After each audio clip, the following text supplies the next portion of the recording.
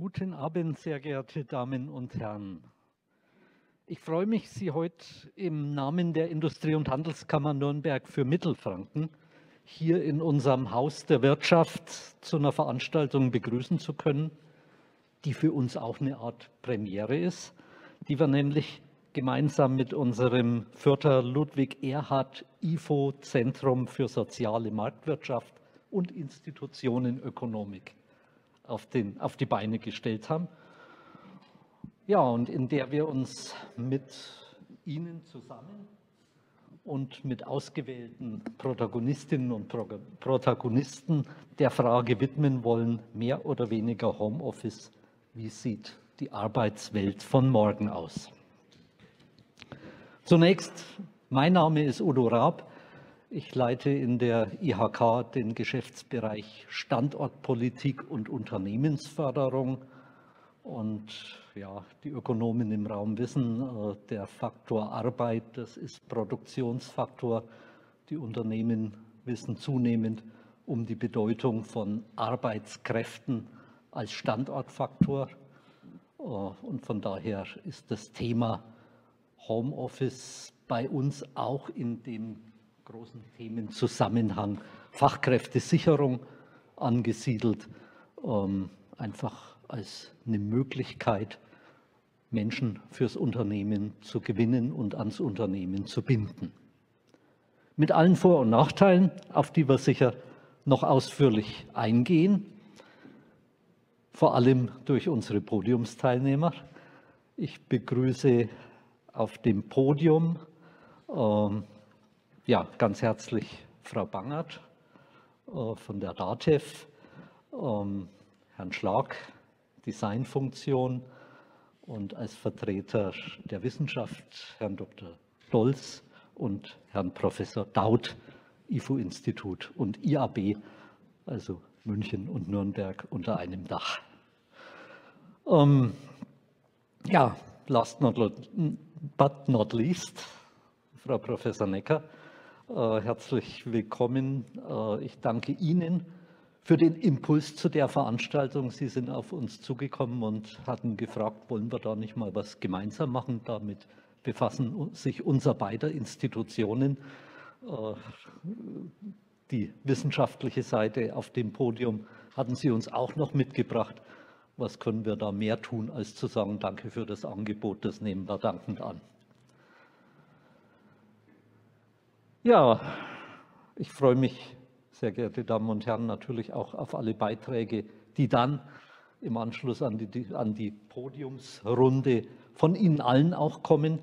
Wir hatten die Einladung bei unseren Unternehmen gestreut, bei unseren Mitgliedsunternehmen, äh, in der Hoffnung natürlich, dass Sie Ihre Erfahrungen, ob positiv oder negativ, zu dem Thema Homeoffice und zur Frage Arbeitswelten von morgen, wie schauen die aus, dass Sie uns die einbringen und hier diskutieren.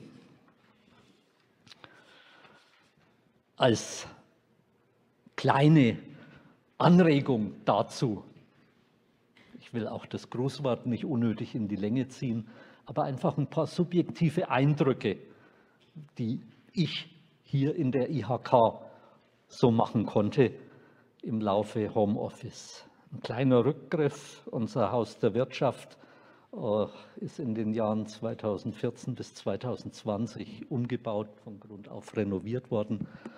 Und als wir dann aus unserem Ausweichquartier hierher zurückkamen, das war im März 2020, Anfang März, dann hatten wir gerade hier noch so eine Eröffnung, die erste Vollversammlung hier stattfinden lassen können.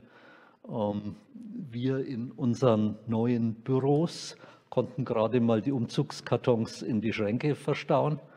Und dann kam die Pandemie und wir fanden uns alle außerhalb unserer neuen Büros wieder. Ähm,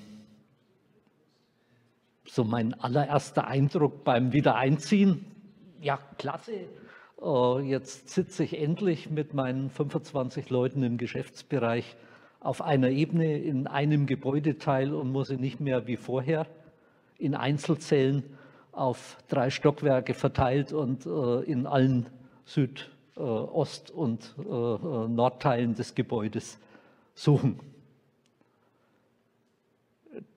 Dann der Eindruck, ja, puh, und wie machen wir das jetzt weiter, wenn alle zu Hause sein sollen? Dann konnten wir aber zum Glück zurückgreifen, zum einen sehr schnell auf ordentliche Ausstattung technischer Art und zum anderen auch auf die ersten Erfahrungen so aus den Homeoffice-Möglichkeiten, die wir vor der Pandemie auch schon hatten, hatten dann auch schnell Mobile Work-Vereinbarungen schließen können.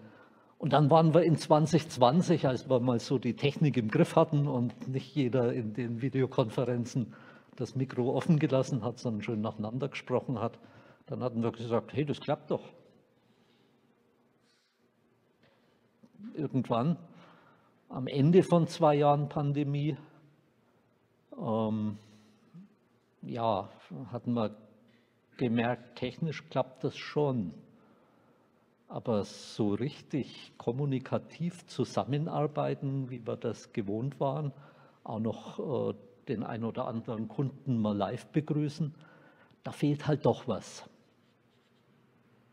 Und insoweit, glaube ich, war ich auch ganz froh, dass wir jetzt seit Ende letzten Jahres so langsam auch wieder die Gegenbewegung beobachten, dass unsere an sich mögliche Mobile Work Quote für 40 Prozent gar nicht mehr so oft in Anspruch genommen wird, sondern dass sich die Leute jetzt wieder ins Büro begeben, um sich dort zu treffen und auszutauschen.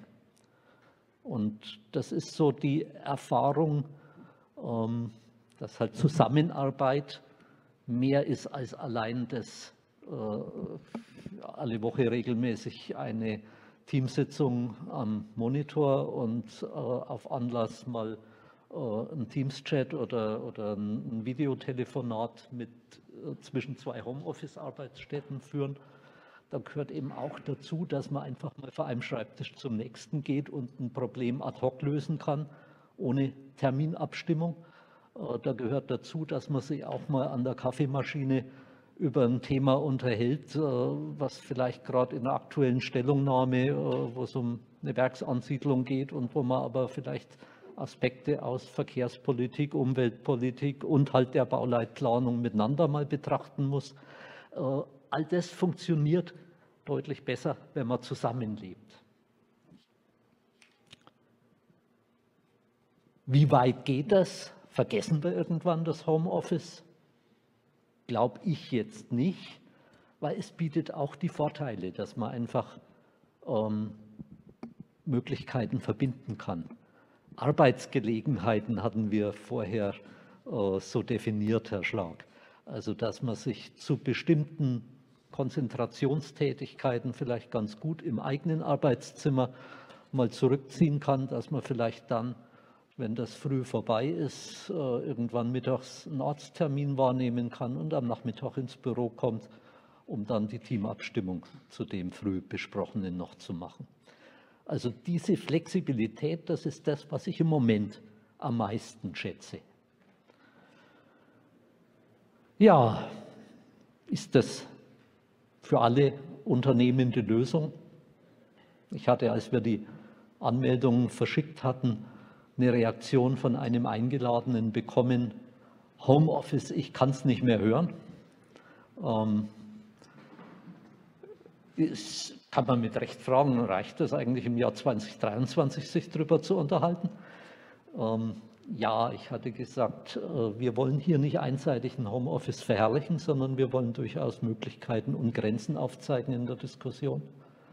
Darauf freue ich mich heute auch, auf alles, was aus dem Thema rauskommt für die Frage, wie arbeiten wir denn morgen, denn das ist auch ein Teil von dem, was uns als IHK natürlich bewegt, einen Ausblick auf die Arbeitswelten der Zukunft zu bekommen. Und auf den Ausblick bin ich auch gespannt, wie schaut die Arbeit in Zeiten von KI aus ähm, oder welche Regeln brauchen wir denn da oder welche Arbeitsgelegenheiten bieten sich dann hier im Haus oder im Homeoffice. All das schöne Fragen. Vielleicht kommen wir in der Diskussion dazu. Ähm, Frau Geisler, Frau Necker, äh, Ab jetzt, glaube ich, gehört das Podium Ihnen. Sie leiten, Frau Geisler, die Diskussion, aber vorher, Frau Professor Necker, haben Sie natürlich jedes Recht, hier die IHK-Dominanz zu brechen und seitens des IFO-Instituts zu begrüßen. Danke Ihnen allen fürs Kommen und anregende Gespräche, anregenden Abend.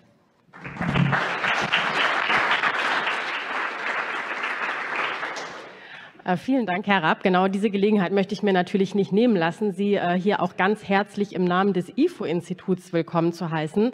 Mein Name ist, wie gesagt, Sarah Necker. Ich bin die Leiterin des äh, neu geschaffenen IFO-Zentrums für soziale Marktwirtschaft und Institutionenökonomik in Fürth.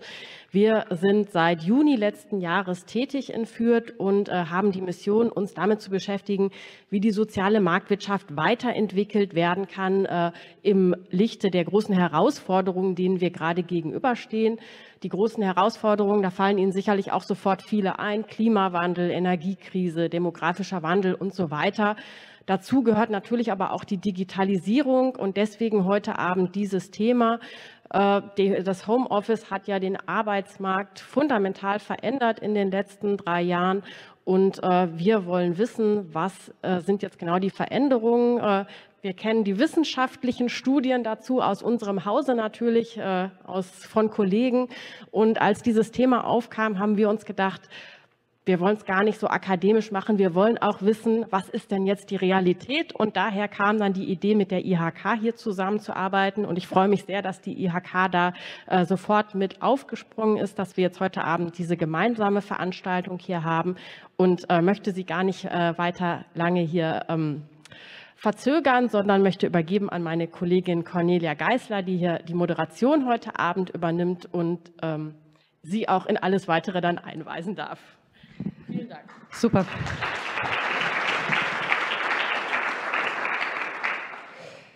Vielen Dank für die ähm, Einführung und für die Begrüßung, für die warme, Herr Raab. Ich weiß nicht, ob wir alle Ihre Fragen beantworten können. Also bei KI bin ich auch nicht so sattelfest, muss ich sagen. da wäre ich dann ein bisschen auf die Expertise Ihrer Mitglieder angewiesen, aber wir tun unser Bestes. ähm, ja, ich möchte äh, natürlich auch unsere Zuschauer, also erstens Sie hier in der IHK. Ich bin auch, habe gerade überlegt, wann war ich zum letzten Mal in Nürnberg? Ähm, ich habe ja in Bayreuth studiert, also ich glaube, es muss irgendwann um diese Zeit gewesen sein, wo ich zum letzten Mal in Nürnberg war, obwohl es so nah in München ist, ganz verrückt. Aber ich finde, das ist ein ganz toller Raum hier und freue mich sehr, dass wir das hier machen können. Aber ich begrüße auch unsere ähm, Zuschauer an den Bildschirmen, weil wenn wir schon über Homeoffice reden, müssen wir natürlich auch hybrid unterwegs sein und ähm, schaffen es natürlich auf diese Weise mit der Veranstaltung noch mehr Leute zu erreichen als Sie, die sich alle hierher bemüht haben. Aber die sich hierher bemüht haben, bekommen zusätzlich nach der Veranstaltung noch einen kleinen Empfang und können noch ein wenig netzwerken. Also da ist die physische Anwesenheit natürlich doch ein Vorteil. Ähm, darauf kommen wir aber später noch zu sprechen. Ähm, unser Thema mehr oder weniger Homeoffice, wie sieht die Arbeitswelt von morgen aus? Ähm, ich freue mich, unsere unser tolles und äh, kompetentes Panel hier heute zu begrüßen. Aber zuvor möchte ich gerne noch an Sie, an das Publikum eine kleine Frage stellen, um einfach mal so eine Standortbestimmung vorzunehmen.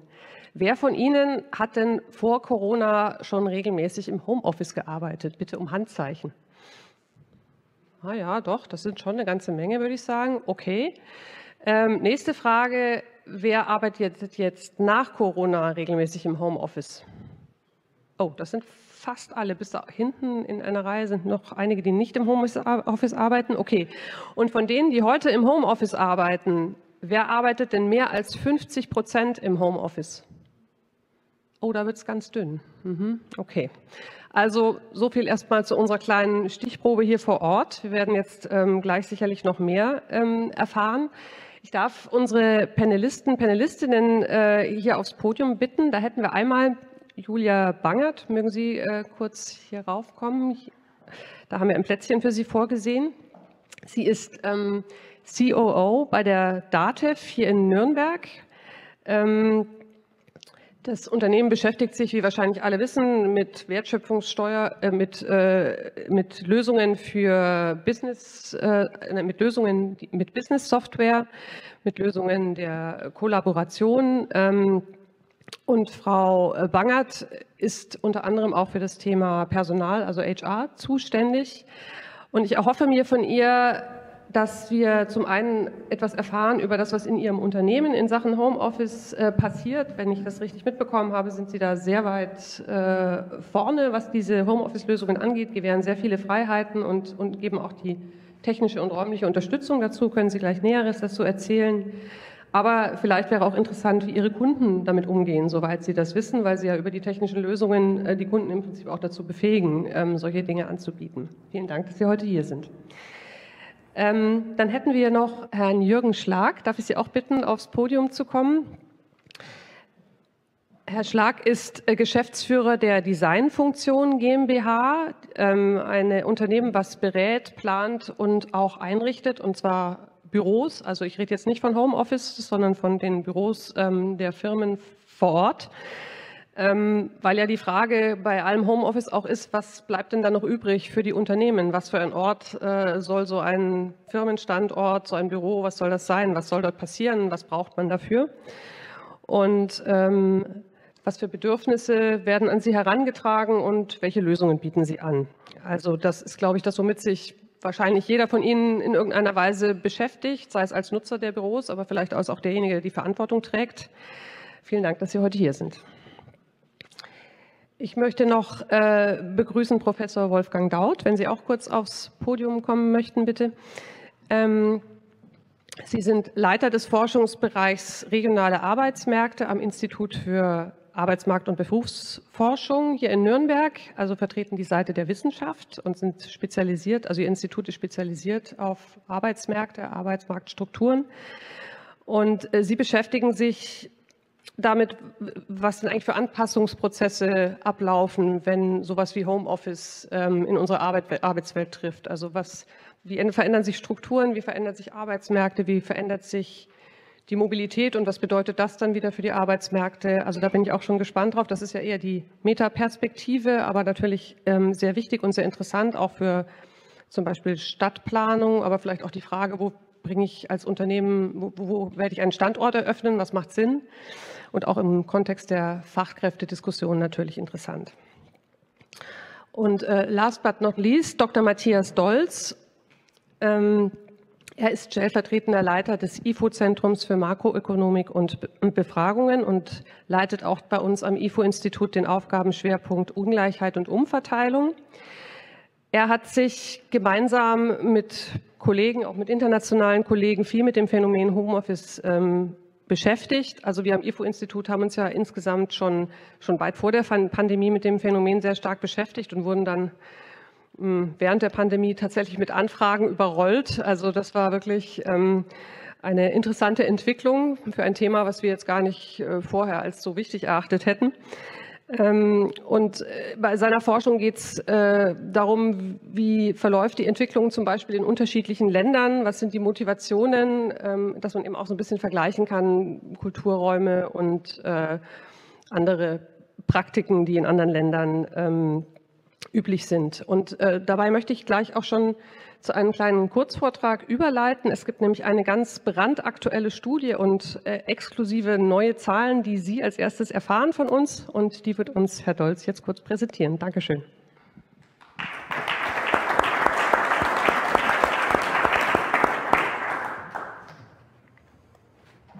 Ja, einen schönen guten Abend auch von meiner Seite. Ähm, freue mich hier ähm, heute Abend zu Ihnen sprechen zu dürfen und äh, meine Kollegin Frau Geisler hat es schon angekündigt. Ähm, ich möchte ein paar aktuelle Zahlen präsentieren zur Entwicklung des Homeoffices, gerade auch im internationalen Kontext. Aber bevor wir in den internationalen Kontext ähm, gleich wechseln werden, vielleicht ein Kurzüberblick, wie hat sich denn ähm, die Homeoffice-Entwicklung in Deutschland entwickelt? Und wenn wir uns mal anschauen, die Zeit vor Ausbruch der Corona-Pandemie, da waren so rund 10 Prozent der Beschäftigten zumindest teilweise im Homeoffice. Und dann ähm, mit, mit Ausbruch der Pandemie hat es eben einen großen Sprung gegeben. Die Zeitreihe, die läuft jetzt ähm, hier nur bis, bis, bis Juni 21, aber ich kann Ihnen sagen, Sie verpassen da nicht viel, weil ähm, der Wert, der hat sich im Grunde genommen stabilisiert. Also ich glaube, die, die letzten Zahlen jetzt aus dem Mai diesen Jahres, ähm, die waren so bei rund 24, 25 Prozent. Also das heißt, aktuell äh, arbeiten rund 24, 25 Prozent der Beschäftigten in Deutschland zumindest teilweise, so ist die Definition, also nicht vollständig, aber zumindest teilweise ähm, von zu Hause. Die Frage, mit der wir uns beschäftigen und die wir heute Abend hier ähm, gerne auch mit Ihnen diskutieren, ist, ähm, wird das Homeoffice bleiben und wenn ja, in welcher Form? Das ist vielleicht gar nicht so klar. Wenn man darüber nachdenkt, wir haben auch schon in den Eröffnungsstatements gehört, viele Arbeitsprozesse wurden digitalisiert. Ähm, wir haben alle gelernt, mit Teams oder Zoom oder ähnlichen Programmen umzugehen. Vorurteile wurden abgebaut. Ich glaube, es gab ein Stigma gegen Homeoffice vor der Pandemie. Working from home ist shirking from home. Ich glaube, da hat es einen Wandel gegeben. Die Einstellung hat sich geändert. Möglicherweise haben sich auch Führungsstile ähm, sehr stark verändert. Ich denke, da werden wir sicherlich heute Abend hier auf dem Podium ähm, auch einiges dazu hören.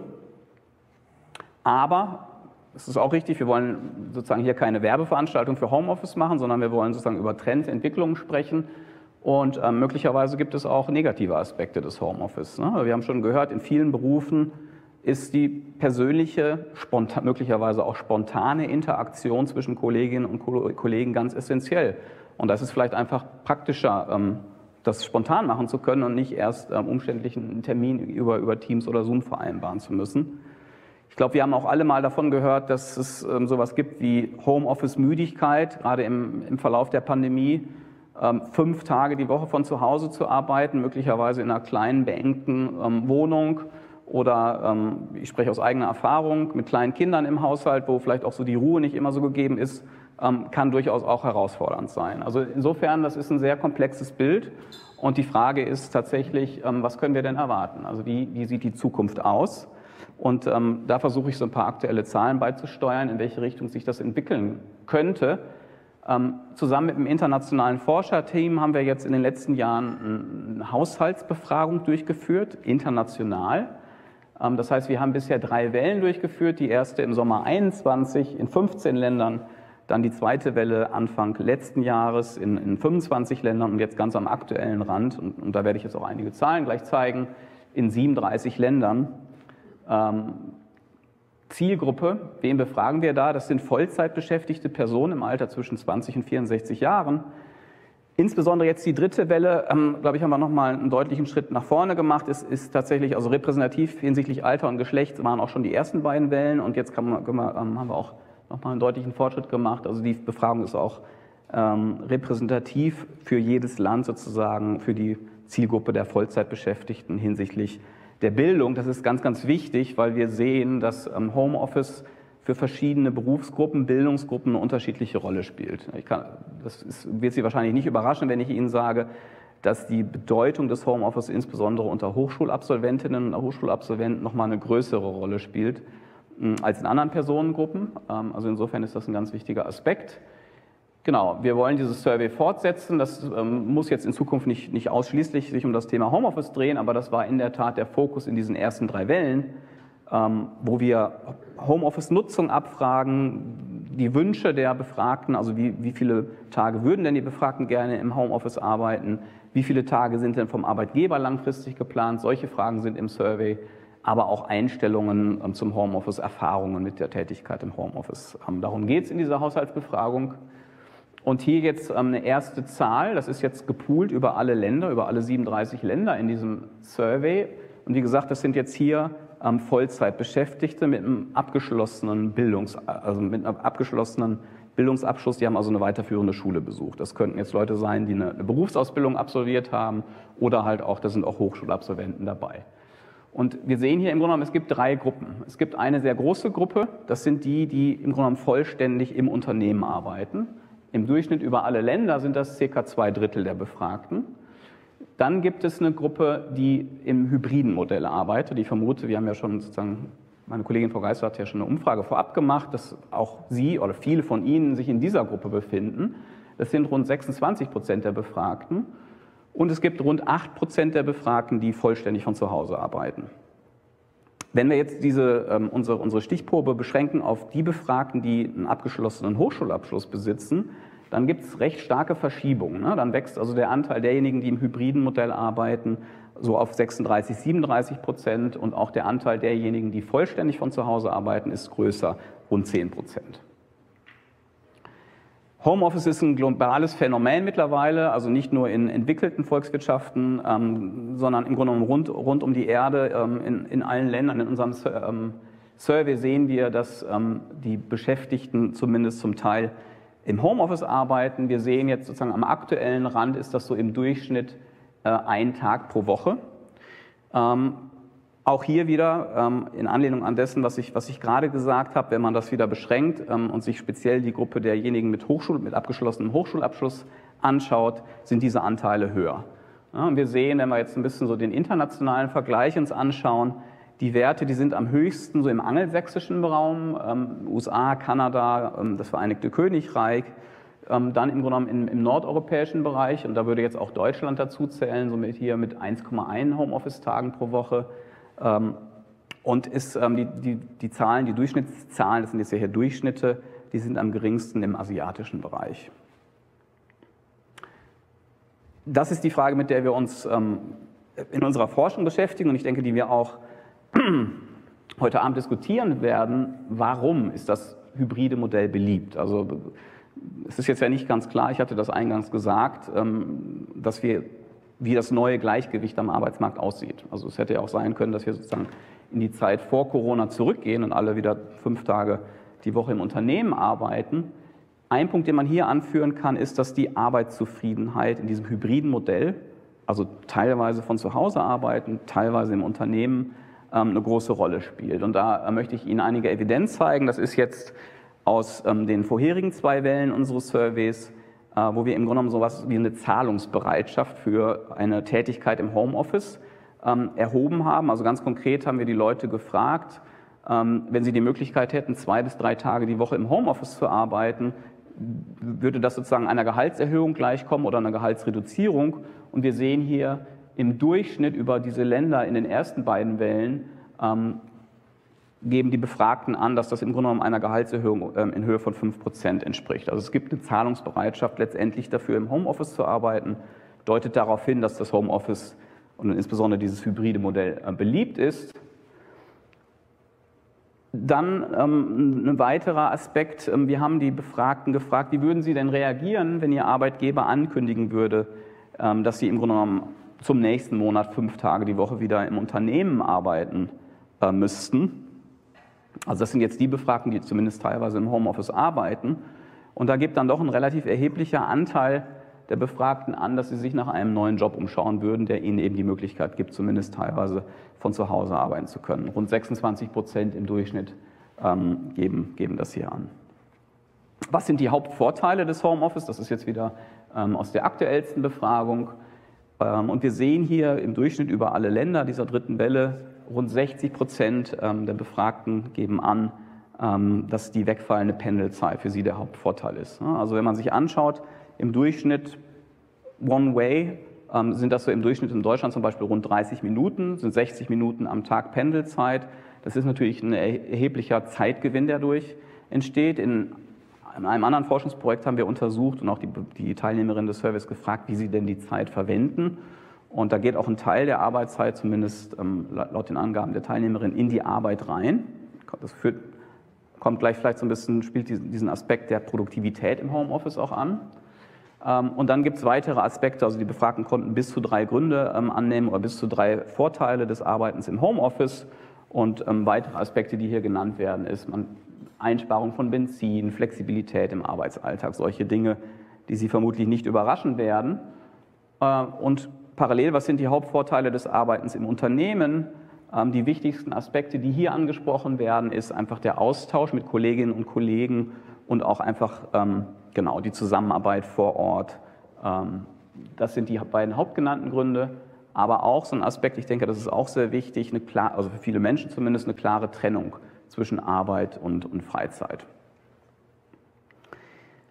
Ein zweiter Aspekt, und der wird in der Tat in der Wissenschaft sehr kontrovers auch diskutiert, und da gibt es verschiedene Studien mit verschiedener Evidenz dazu, ist die Frage, wie, wie schaut es denn mit der Produktivität im Homeoffice aus? Ähm, deswegen habe ich da jetzt auch erstmal ein Fragezeichen dran gesetzt. Also ich glaube, dass das hybride Modell die Arbeitszufriedenheit fördert, ich glaube, das ist gesichert, ich, das können wir so sagen. Was die Produktivität angeht, muss man differenzieren, ähm, um was für eine Tätigkeit es sich handelt. Ohne da jetzt zu sehr ins Detail gehen zu wollen, aber Ihnen auch hier möchte ich Ihnen ähm, ein bisschen Evidenz zeigen aus unserem Survey. Hier haben wir die Befragten gefragt, wie sie denn ihre Produktivität im Homeoffice einschätzen. Und jetzt kommt es wichtig, relativ zu ihren Erwartungen vor der Pandemie. Ja, und viele hatten eben auch diese Erfahrung im Homeoffice vor der Pandemie eben nicht. Und das gibt ein sehr klares Bild. Also im Grunde genommen ähm, sind, ist ein Großteil der Befragten positiv überrascht von ihrer Produktivität im Homeoffice. Ich glaube, wir haben alle gelernt, sozusagen, oder viele haben gelernt, dass man im, im Homeoffice ähm, zumindest für bestimmte Tätigkeiten durchaus sehr produktiv arbeiten kann. Jetzt kann man sagen, ja gut, das ist ähm, klar, dass die das sagen, weil sie arbeiten gerne im Homeoffice. Dann kann man das natürlich auch einfach mal so behaupten, dass man da wahnsinnig produktiv ist. Stimmt das denn überhaupt? Und dass das vielleicht jetzt nicht so ganz weit hergeholt ist, das verdeutlicht Ihnen jetzt die nächste Folie. Was wir hier, was Sie hier sehen, ist im Grunde genommen ein Zusammenhang zwischen den von dem Arbeitgeber geplanten Homeoffice-Tagen, und zwar nach, nach der Pandemie, also im Grunde genommen jetzt, wie viel planen denn, das haben wir die Befragten auch gefragt, wie viele Tage plant denn Ihr Arbeitgeber, dass Sie im Homeoffice arbeiten können? Das sehen Sie auf der ähm, Y-Achse und auf der X-Achse sehen Sie eben diese Produktivitätsüberraschung, also wie die Befragten ihre eigene Produktivität einschätzen relativ zu ihren Erwartungen vor Ausbruch der Pandemie. Und wir sehen hier einen positiven Zusammenhang. Das, dieser positive Zusammenhang, der gilt in unserem gesamten Sample, aber ganz wichtig, der gilt wirklich in jedem der 27 untersuchten Länder der ersten und zweiten Welle unseres Surveys. Das heißt, je produktiver oder je, je positiver die Befragten ihre Produktivität im Homeoffice einschätzen, desto mehr Homeoffice-Tage werden ihnen auch von den Arbeitgebern angeboten. Was darauf hindeutet, dass es da keinen kompletten Mismatch gibt zwischen, zwischen den eigenen Einschätzungen der Produktivität der Befragten und ähm, den Einschätzungen der Arbeitgeber. So viel dazu.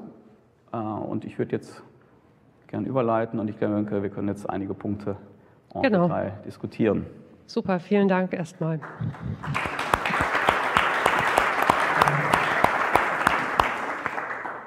Vielleicht ähm, gleich die erste Frage an Sie. Was war denn für Sie jetzt im Hinblick auf diese Forschungsergebnisse am überraschendsten? Ähm, ja, also wir machen, die, die, Forschung ist ja nicht ganz neu. Also ich beschäftige mich jetzt ja im Grunde genommen schon seit einiger Zeit äh, mit den Themen.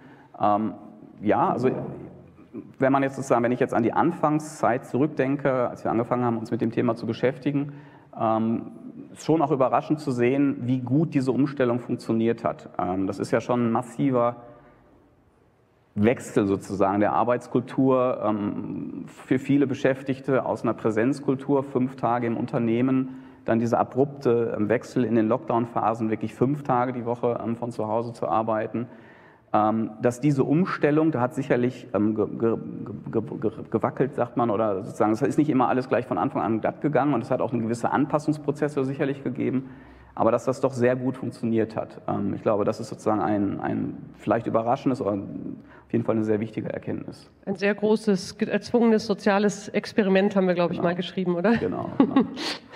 Genau, genau. Ähm, Herr Professor Daut, das ist ja jetzt etwas, was, äh, sagen wir mal, wenn man über Strukturwandel nachdenkt, noch relativ jung ist. Ähm, aber können Sie trotzdem schon etwas beobachten, ähm, was das Homeoffice mit ähm, räumlichen Strukturen, aber auch mit Arbeitsmarktstrukturen gemacht hat, mal so ganz global galaktisch gesprochen.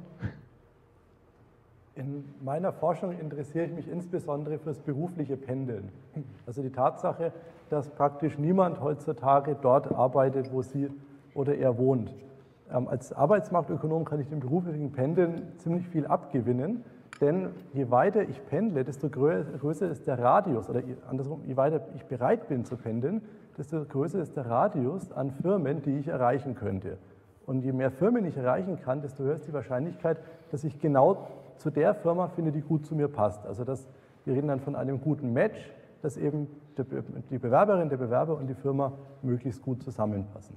Das heißt, als Ökonom bin ich erstmal ein großer Freund davon, dass wir auch in der Lage sind, relativ weite Wege zurückzulegen zwischen Firma und Wohnort. Individuen sehen das allerdings anders. Es gibt auch viele Nachteile des beruflichen Pendelns. Wir müssen bloß mal an Schadstoffemissionen denken oder auch an, an einfach der Zeit, die darauf geht, wenn ich jeden Tag ins Auto, im Auto sitzen muss oder in der, in der U-Bahn, in der Straßenbahn sitzen muss. Das Homeoffice bietet uns jetzt das Beste aus beiden Welten. Jetzt, kann, jetzt, bin ich theoretisch in der Lage, auch für eine Firma zu arbeiten, die relativ weit von meiner Wohnung entfernt liegt und trotzdem muss ich nicht die negativen Aspekte des Pendelns eingehen. Genau das finden wir auch in unseren Daten.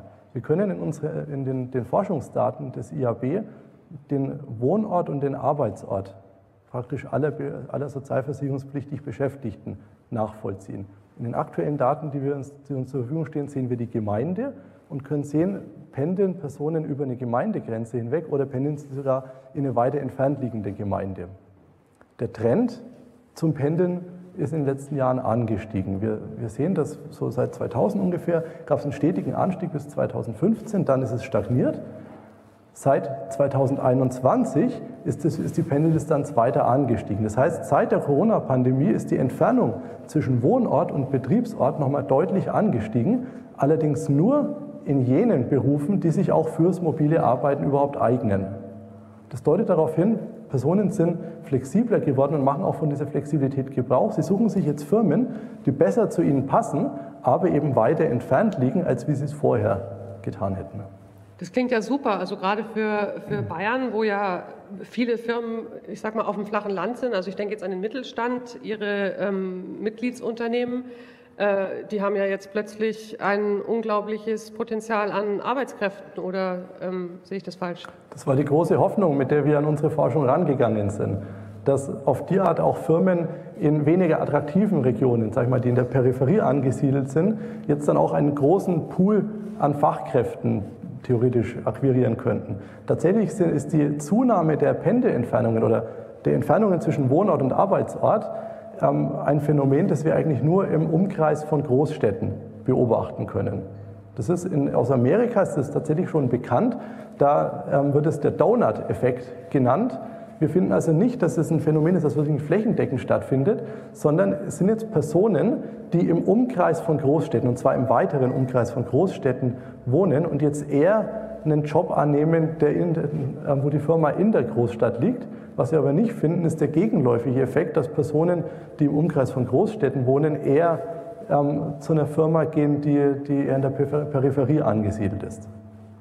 Okay, äh, soweit äh, eine Erwartung, die sich nicht ganz erfüllt hat. Ich meine, äh, die Entwicklung ist ja jetzt in dem Sinne noch nicht am Ende.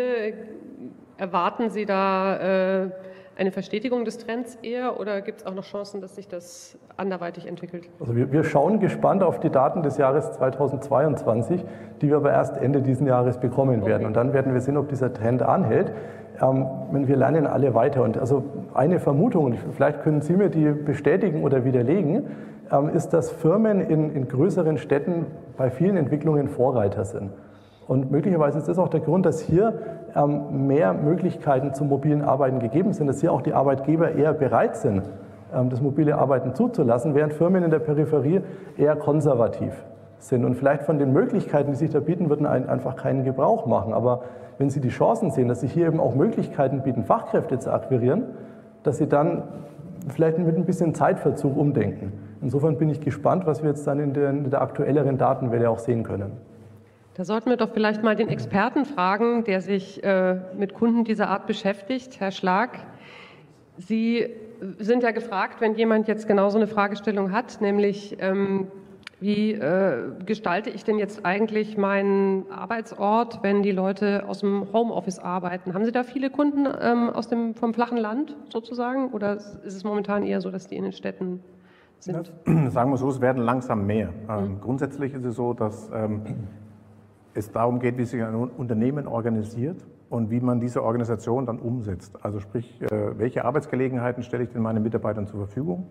Und dann gibt es schon äh, große Anwender in der Region, die auch Schwierigkeiten haben, Personal zu finden, die mittlerweile umdenken und sagen, ich muss auch äh, Homeoffice anbieten, aber ich muss auch Third Places anbieten und ich muss auch an meinem Arbeitsort unterschiedliche Arbeitsgelegenheiten anbieten. Was sind denn da so die zentralen Herausforderungen, die an Sie herangetragen werden, wenn es um die Umgestaltung jetzt geht? Also die größte Frage ist, wie kriege ich die Menschen wieder ins Büro? Das ist tatsächlich äh, vor allem auch in den Großstädten die Frage. Wir haben viele Kunden, die haben tatsächlich nur noch 20 Prozent Anwesenheit ähm, und versuchen jetzt nach Corona Menschen wieder zurück ins Büro zu kriegen. Und das versucht man eben dadurch, dass man stärker in die Gestaltung geht, andere Dinge anbietet. Wir kommen aus einer Welt, wo durchschnittlich 9,8 Tätigkeiten immer an diesem einen Schreibtisch stattgefunden haben und stellen heute eigentlich fest, naja, das kann ich eigentlich woanders auch, das kann ich im Homeoffice auch. Und man fängt an, eben andere Arbeitsgelegenheiten anzubieten, mehr auch ähm, Arbeitsgelegenheiten, um sich mit Menschen auszutauschen, weil fremde Menschen lade ich nicht zu mir nach Hause ein, auch äh, Kollegen nicht unbedingt. Also es findet viel mehr Interaktion in den Unternehmen statt. Das heißt, es wird umgerüstet, sodass ich eben im Unternehmen äh, wieder die richtigen Arbeitsgelegenheit vorfinde und auch die Unternehmens-DNA tanken kann. Also ein ganz starkes Thema ist das Thema Marke im Raum. Also wie präsentiere ich denn meine Fläche und wie nimmt der Mitarbeiter denn meine Unternehmens-DNA wahr und wie schaffe ich es denn, eben genau das, was vorhin schon durchgeklungen ist, diese Teambildung auch wieder hinzukriegen. Die kriege ich zu Hause im Homeoffice nicht hin. Da entferne ich mich langsam des Unternehmens. Aber wenn ich eben ins Unternehmen komme und eine ähm, ja, gute Gestaltung habe und meine Menschen wiederfinde, dann äh, wird es gut. Und deswegen ist es für mich gar nicht so wichtig, wie viel Homeoffice vorgegeben wird, sondern die Frage ist, die Arbeitsgelegenheiten zu finden, die dann eben für Homeoffice geeignet sind. Und für den einen, der vier Kinder hat, ist es sicherlich etwas anderes, was er zu Hause tun kann, wie für den, der vielleicht alleine ist und Ruhe zu Hause hat. Ein bisschen ist das ja das, was man so mit ähm, Unternehmen wie Google verbindet, die ja schon immer sich sehr darum bemüht haben, sozusagen ihren Unternehmen eine Art Heimat und Spielfläche vielleicht sogar ähm, in den ähm, Unternehmenszentralen oder an den Standorten zu bilden. Ist da jetzt ein Unterschied zu dem, was Google früher schon gemacht hat? Nicht wirklich. Google oder auch wenn man Microsoft nimmt, äh, jetzt in München, die organisieren sich schon sehr lange anders. Also da gibt es schon Vertrauensarbeitszeit, Vertrauensarbeitsort. Es gab auch bei Microsoft die Überlegung, vor Corona das Büro überhaupt abzuschaffen, weil sie sagen, zu uns, wo sie vorher waren, da kommt gar keiner mehr. Haben dann aber eben über eine Mitarbeiterumfrage festgestellt, wenn wir näher an die Stadt rangehen, also wenn wir besser erreichbar sind, wenn wir die richtigen Arbeitsgelegenheiten anbieten, dann kommen die auch wieder. Und die haben auch ihre Quote von 20 Prozent auf über 50 Prozent gesteigert. Also das Büro wird wieder genutzt, jetzt wo sie sind. Nur die organisieren sich anders und das müssen jetzt mittelständische Unternehmen halt noch lernen. Ne? Also Microsoft hat zum Beispiel halt eine persönliche Zielvereinbarung. Und ähm, das heißt, ich muss ihn gar nicht da haben zwingend. Also es ist eine ganz andere Führungskultur. Also die Führung muss lernen. Und das ist auch so eine Erfahrung in unseren Projekten, dass wenn wir Mitarbeiter befragen, sagen die oft, uns geht der Prozess zu langsam. Die Führungskräfte sagen, es reicht so, es geht schnell genug. Und da muss man eben ja, ein bisschen darauf achten, dass man Führungskräfte mitnimmt, ihnen die Möglichkeit und die Skills gibt, mit dieser neuen Situation dann auch zurechtzukommen und die Mitarbeiter entsprechend auch zu fördern in den neuen Welten.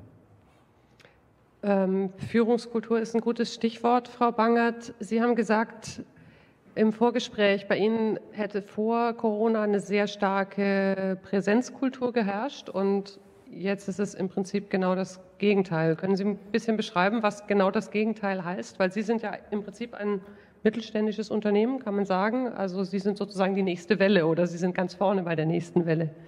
Also in der Tat war es bei uns so, dass äh, vor Corona eigentlich äh, die, die Präsenz der Normalzustand war. Und die Kultur war auch, man ist da und man ist vor Ort und wer da sitzt, der arbeitet auch. Ja.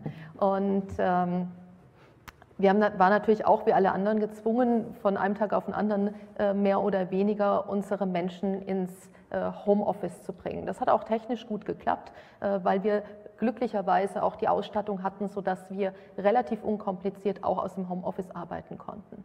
Und äh, es gab vorher immer wieder Diskussionen. Ähm, bei uns hieß es früher nicht Homeoffice-Berechtigung, sondern Remote-Berechtigung. Also welche Tätigkeiten kann man denn auch aus Datenschutzgründen, ähm, ist bei uns wirklich ein ganz wesentlicher Aspekt, denn überhaupt von zu Hause aus machen.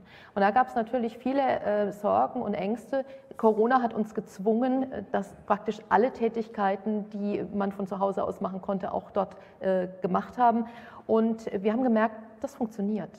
Und man muss dazu noch eines sagen. Wir, wir stellen Software her, und zwar für Steuerberaterinnen, Steuerberater und äh, wirtschaftsprüfende Berufe und Rechtsanwältinnen und Rechtsanwälte. Und während Corona kam im Prinzip, da geht es natürlich beispielsweise auch um die Software, mit der die Gehaltsabrechnung stattfindet. Und wer sich erinnert, alle paar Wochen kam im Prinzip eine neue gesetzliche Regelung. Und die mussten wir zusätzlich zu dem, was wir sowieso vorher schon tun mussten, in unseren Produkten umsetzen. Das heißt, wir hatten noch nicht mal die gleiche Arbeitslast wie vorher, sondern wir hatten eine deutlich erhöhte Arbeitslast und einen unheimlichen Druck. Und ich glaube tatsächlich, dass diese Krisensituation, die da war, diese Kombination aus Corona auf der einen Seite Und das Wissen, wir sind eine Genossenschaft, das ist äh, nochmal was anderes. Das heißt auch das Wissen, dass unsere Mitglieder davon abhängig sind, dass wir diese Dinge in, den, äh, in der Software umsetzen, das hat eine unheimliche Kraft entfesselt und äh, eine wahnsinnige Energie und es hat extrem gut funktioniert. Also es hat viel, viel besser funktioniert, als wir uns das vorgestellt hatten. Und dann kam ja irgendwann der Tag, wo es hieß, naja, jetzt dürfen Menschen, wenn sie denn geimpft sind, wieder in die Büroräume. Und das war dann der Punkt, wo wir schon sehr früh überlegt haben, was wollen wir denn? Weil die Fragen kamen sofort. Muss ich wieder ins Büro? Darf ich ins Büro? Ähm, es waren auch Ängste da. Ähm, ist jetzt wieder alles wie vorher? Müssen wir vier, fünf Tage die Woche zurück? Und es sind natürlich auch äh, private Dinge passiert. Viele haben sich einen Hund gekauft ähm, in der Zwischenzeit und, und, und. Äh, und haben sich auch irgendwo eingerichtet mit der Situation. Und äh, wir haben dann mit unseren Betriebspartnern zusammengesessen und haben überlegt, okay, wir brauchen schnell eine Betriebsvereinbarung. Und dann saßen wir da und haben überlegt, okay, was ist denn jetzt richtig? Ist es denn, wir haben gedacht, das so die Hälfte irgendwie. Und dann haben wir gesagt, ja, was ist denn jetzt die Hälfte, wenn jemand im äh, Schichtbetrieb im Druck arbeitet? Funktioniert nicht. Oder in der Betriebsgastronomie? Funktioniert nicht. Und äh, gleichzeitig haben wir gesagt, naja, wenn jemand Software entwickelt, dann ist der wahrscheinlich, wenn er eine ruhige Arbeitsumgebung hat, zu Hause gut aufgehoben. Das heißt, wir haben gesagt, egal welche Regelung wir pauschal treffen, ist sie immer für eine Berufsgruppe falsch. Und deshalb haben wir gesagt, wir probieren es mal ganz offen. Das heißt, wir haben gesagt, äh, alle haben die Möglichkeit, einen Teil ihrer Arbeit von zu Hause aus zu erbringen. Wir haben diesen Teil nicht definiert. Das kann ein Tag im Monat sein, das kann fünf Tage die Woche sein. Und das Team entscheidet. Also nicht die Führungskraft, sondern das Team entscheidet untereinander, wie es am besten arbeitet. Weil auch, wenn ich ein neues Thema habe, dann macht es Sinn, ich bringe die Leute zusammen. Wenn ich neue Menschen im Team habe, dann macht es Sinn, ich bringe die vor Ort zusammen. Also noch nicht mal nur abhängig von der Tätigkeit. Und wir haben einfach gesagt, egal was wir pauschal entscheiden, wird das immer nur falsch sein. Und wir haben gesagt, wir sind mutig, wir probieren das und ähm, wir haben es bis jetzt nicht bereut. Also wir sehen, dass auch bei uns hat äh, die Anwesenheit nimmt langsam etwas zu aber sie pegelt sich so ein bei, ich sag mal, einer Auslastung unserer Gebäude von 30 bis 40 Prozent. Und äh, wir haben auch unsere Mitarbeitenden befragt und die sagten, wenn sie sich aussuchen können, wollen sie im Schnitt circa drei Tage zu Hause arbeiten, also deutlich, also über die Hälfte zu Hause arbeiten. Und äh, wie gesagt, es funktioniert gut, auch mit Höhen und Tiefen. Also äh, meiner Meinung nach ist, wir haben noch keinen Normalzustand, wir haben noch keine Langzeiterfahrung. Wir merken auch, dass es wichtig ist, dass Teams regelmäßig reflektieren, wie sie arbeiten, um dann gegebenenfalls anzupassen oder auch zu sehen, funktioniert das eine Hybrid oder nicht ähm, und, und auch darüber zu reden. Und das ist auch eine Kompetenz, die sowohl im Team braucht, wie auch bei den Führungskräften, immer wieder zu reflektieren, zu verstehen, dass sich das, das Arbeiten auch die nächsten Jahre noch verändern wird. Ja, sehr spannend. Also ich sehe, Sie sind noch sehr offen und äh, beobachten die Entwicklung. Ich weiß nicht, vielleicht ist das ein guter Moment, wo ich nochmal mich gerne ans Publikum richten würde. Wir haben jetzt äh, was über die Daten gehört, über die wissenschaftliche Seite, teilweise auch schon über Gestaltungsgrundsätze und ähm, auch schon mal ein Beispiel. Ich weiß nicht, wollen Sie vielleicht äh, an die Panelisten zu diesem Zeitpunkt schon mal eine Frage stellen ähm, in Bezug auf, da ist schon eine Frage, genau.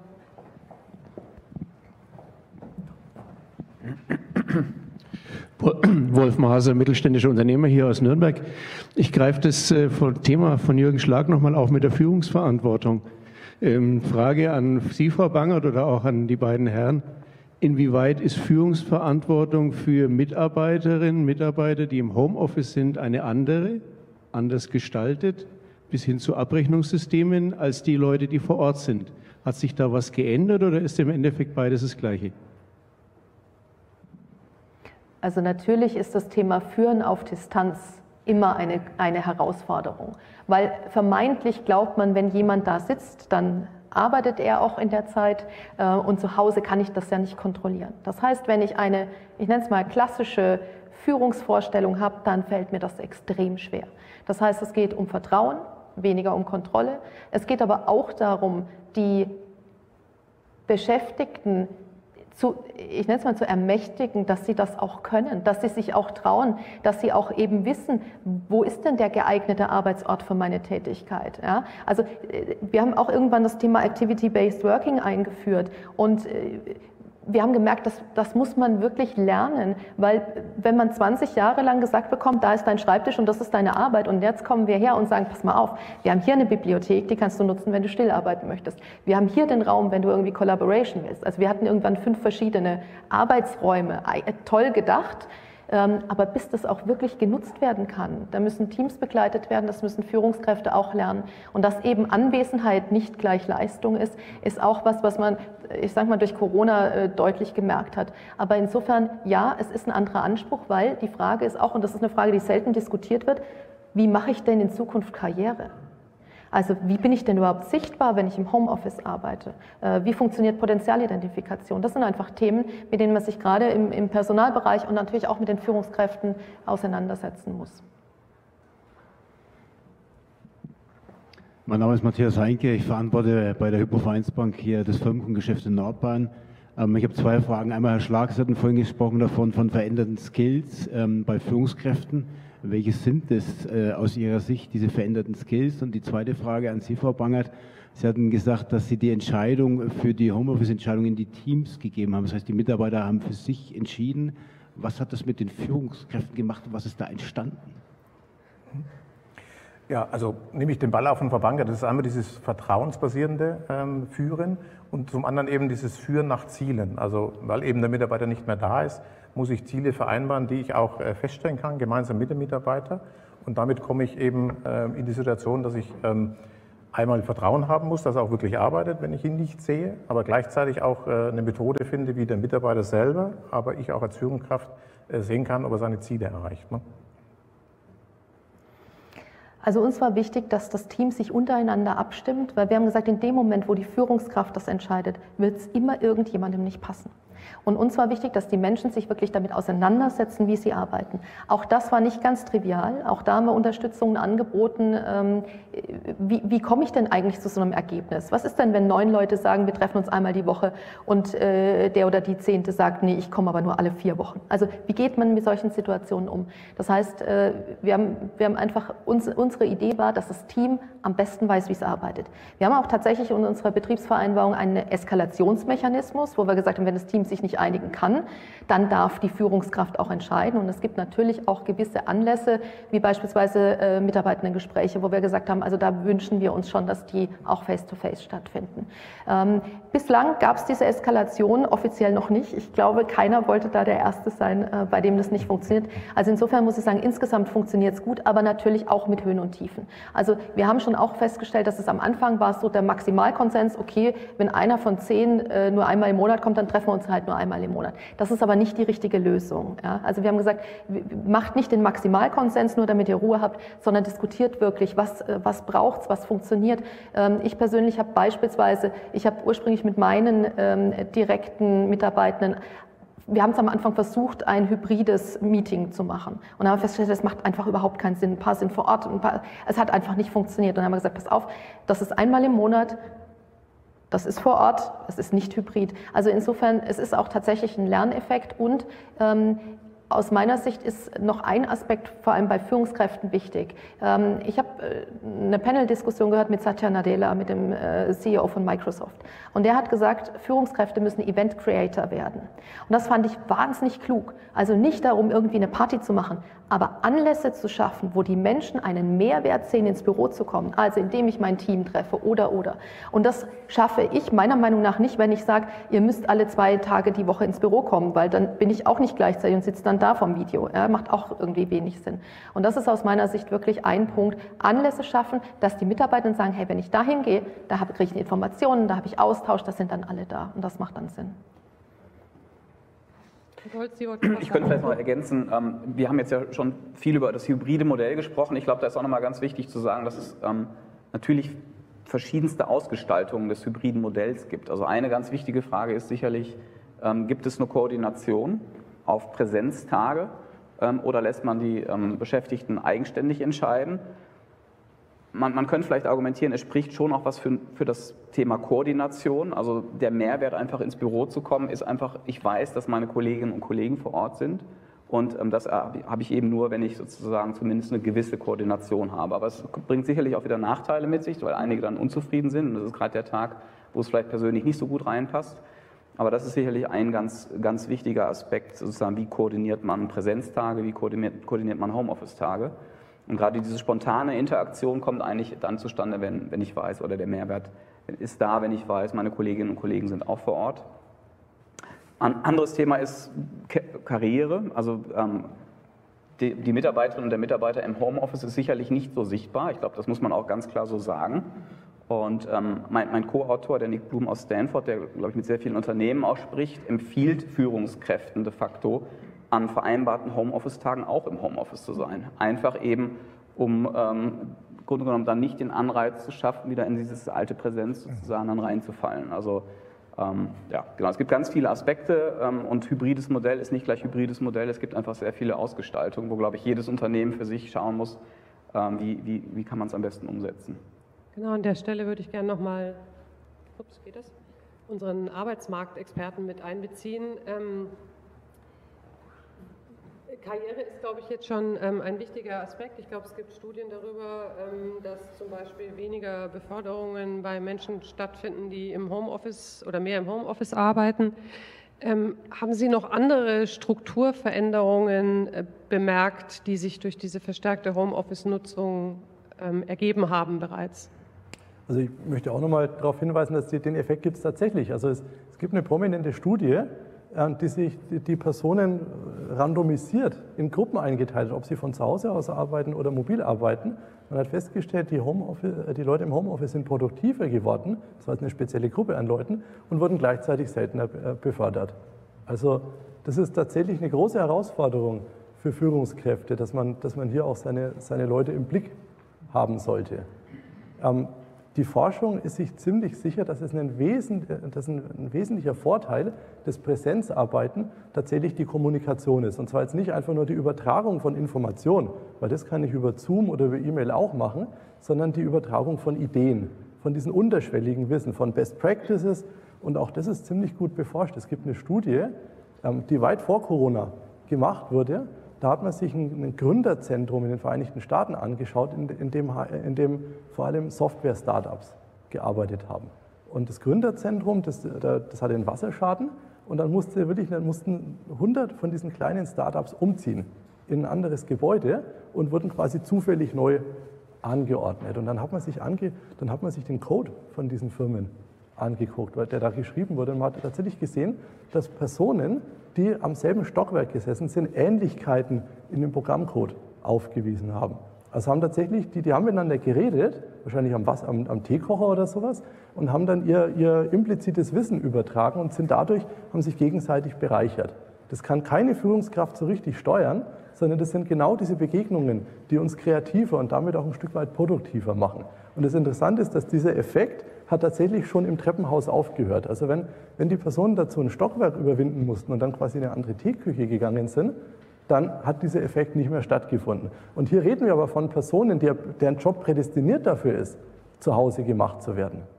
Und ich glaube, das ist was, was wir tatsächlich unterschätzen. Wenn wir einfach nur den, den, Individuen die Gelegenheit geben, selber zu entscheiden, was kann ich am produktivsten zu Hause machen, was kann ich am produktivsten im Büro machen, dann unterschätzen die selber, dass es eben auch diese Spillovers gibt. In der Ökonomie reden wir dann von externen Effekten. Also die, dieser positive Effekt der Büroarbeit geht über den Effekt hinaus, den das einzelne Individuum für sich selber spüren kann. Und auch den Effekt sollten wir aber zumindest als Führungskräfte mit auf dem Schirm haben. Eines der politischen Themen, ähm, die immer mal wieder auf die Agenda kommen, ist ja auch Frauen stärker am Arbeitsmarkt zu beteiligen. Ähm, wie sieht es denn da aus mit Effekten durch Homeoffice? Also grundsätzlich sehen wir, dass Frauen näher am Firmenstandort wohnen oder andersrum, dass der, der Arbeitsort von Frauen näher an der Wohnung liegt, als es bei Männern der Fall ist. Also diese Tendenz, ich bin bereit weiter zu pendeln, um dann auch den passenderen Job zu finden, ist tatsächlich eher ein männliches Phänomen, weil ähm, meistens halt dann die, die, die Haushaltsarbeit oder die, die Betreuungsarbeit doch eher ähm, Sache der Frau ist. Und auch hier bietet das mobile Arbeiten natürlich eine Chance, dass ähm, Frauen jetzt auch quasi die ähm, Kinderbetreuung und das Arbeiten unter einen Hut kriegen können, weil sie eben, weil das Pendeln entfällt. Ähm, in den Daten haben wir es interessanterweise noch nicht gesehen. Also wir sehen nicht, dass diese, diese Tendenz, dass Jobs, die nach der Corona-Pandemie neu geschlossen wurden, dass die bei Frauen tendenziell jetzt noch weiter weg liegen als bei Männern oder dass dieser, dieser Anstieg der, der Distanz bei Frauen ausgeprägter wäre. Der, hier ist dieser Effekt tatsächlich gleichmäßig für Männer und Frauen ausgeprägt. Ja, äh, da gibt es eine Frage. Nee, das für die Aufzeichnung ist es schon wichtig, dass Sie das Mikro nehmen. Dankeschön.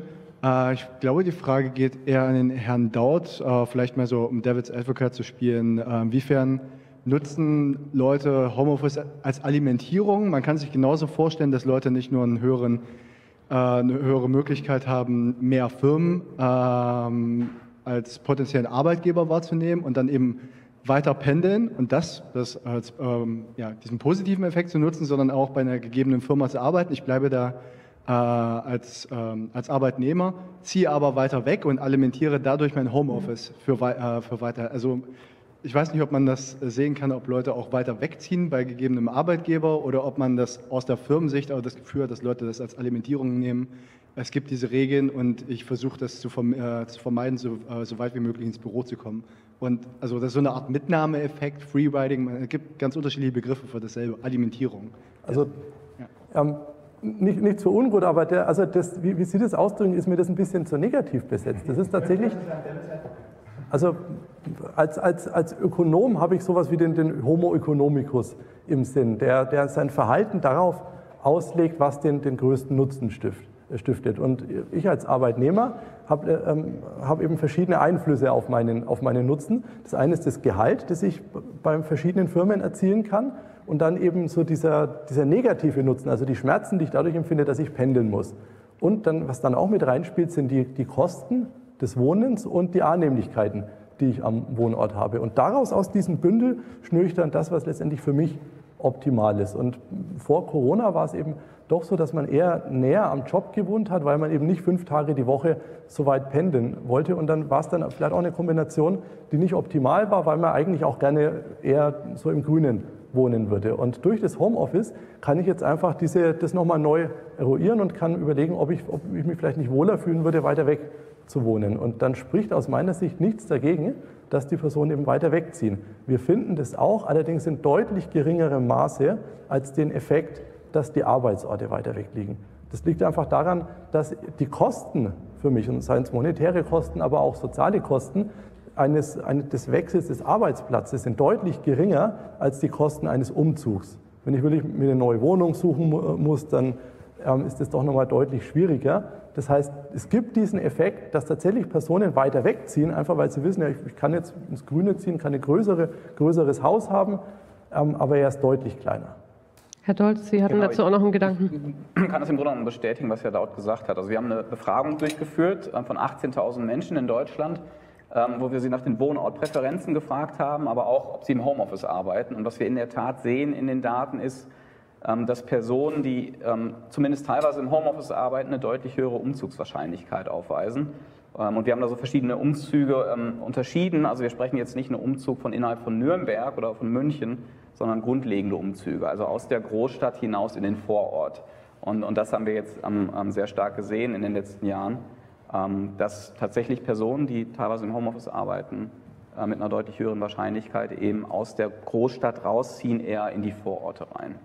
Genau, aber wie wir vorhin gesagt haben, eben nicht, wie wir möglicherweise gehofft haben, ähm, dass die Unternehmen im Plattenland äh, profitieren, sondern tatsächlich nur der Speckgürtel von München, Nürnberg, äh, Augsburg oder so. Das ist richtig, genau. Es war, wenn Sie sich erinnern, gerade auch zu Beginn der Pandemie ähm, die Spekulation, ähm, führt, führt die Pandemie dazu, dass sich das, der ländliche Raum revitalisiert?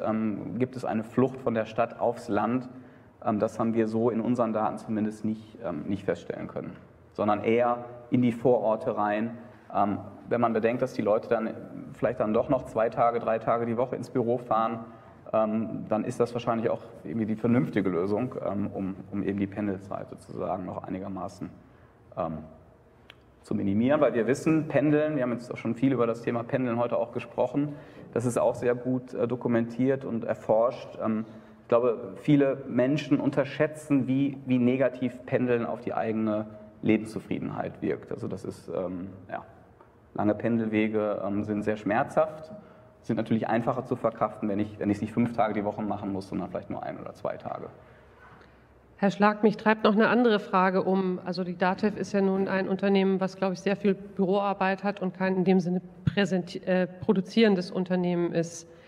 Ähm, bei produzierenden Unternehmen stelle ich mir das mit der Gestaltung des Arbeitsortes ehrlich gesagt noch schwieriger vor, weil sie müssen ja irgendwie vermeiden, dass da so eine Art Zweiklassengesellschaft entsteht, jetzt unternehmensstrategisch gesprochen. Aber wie setzt man das denn dann um in der Arbeitsplatzgestaltung?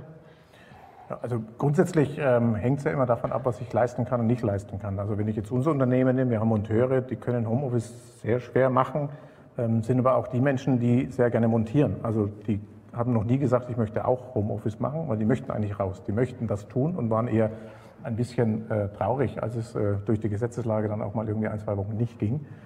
Ähm, aber grundsätzlich glaube ich, wenn man so in die Zukunft guckt, guckt wird es auch in den äh, Fertigungsthemen ähm, und den Fertigungsbetrieben schon auch einen Wandel geben, weil KI wird kommen.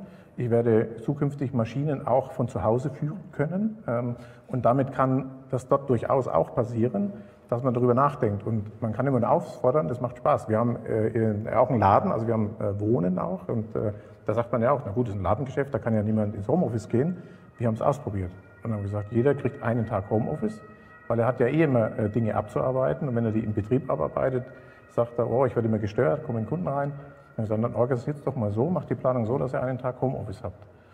Und war auch total spannend, weil dann auch die gleichen Fragen bei unseren Kunden ja auch passieren. Ne? Was macht er jetzt zu Hause? Arbeitet er jetzt wirklich? Ähm, weil er ist ja eigentlich im Laden und hat ja sein, eigentlich seinen Betrieb äh, und sein Tun, sein Verkaufen im Laden. Was macht er jetzt zu Hause? Ähm, hat aber das Team total befruchtet und sagen, hey, das ist cool. Aber ja, es geht nicht überall, es geht nicht zu 100 Prozent, aber ich glaube, da wird sich in der Zukunft schon noch äh, viel tun durch Technik, KI da gibt es Möglichkeiten. Also ich meinte jetzt eigentlich weniger, wie wir die produzierenden Arbeiter ins Homeoffice kriegen, mhm. sondern wie, vielleicht können Sie mal ein Beispiel nennen, wie Sie für ein produzierendes Unternehmen sozusagen die, die, den Arbeitsplatz umgestaltet haben, wo dann eben sowohl die White Collars als auch die Blue Collars ähm, davon profitiert haben, hoffe ich. Also grundsätzlich äh, konzentrieren wir uns natürlich auf die Bürowelten. Ähm, in Betrieb ein bisschen, die Bürowelten auch in der Produktion. Auch dort ist man äh, mittlerweile ein bisschen freier, aber Kernpunkt ist schon eher die, ähm, die Bürowelten selbst, ähm, die dort gestaltet werden. Und dann ähm, setzen wir ja die Vorgaben der Unternehmen um. Also unsere Aufgabe ist ja nicht, wir sind keine Unternehmensberater, sondern äh, wir stoßen den Prozess an und ähm, setzen um, was das Unternehmen zulässt. Und dort sind es eben wie soll ich sagen, so vorsichtige Versuche. Also wir haben gerade äh, im Umland, es ist kein produzierendes Gewerbe, einer der größten Händler für Musikgeräte, der war beispielsweise am Anfang völlig gegen ähm, Homeoffice, ähm, obwohl er Corona erlebt hat, hat sich dann aber durch die, durch die äh, gemeinsame Arbeit eben entwickelt, dass man dort ähm, etwas sanfter wurde und äh, mehr Homeoffice zugelassen hat. Und, ähm, aber ist in dem Fall sehr stark mit der, nicht der Produktion, aber mit dem Versand eben abgeklärt, dass wir sagen, immer die genügend Menschen da sind, die der Versand wiederum zur Rücksprache braucht. Haben Sie denn, Frau Bangert, auch schon umgebaut? Wir haben schon ganz oft umgebaut. Also jetzt im Hinblick auf diese neue äh, Situation, meine ich. Also wir haben in der Tat mehrfach umgebaut. Wir haben äh, ein großes Gebäude, unseren IT-Campus an der Fürther Straße, ähm, kennen vielleicht manche hier im Raum.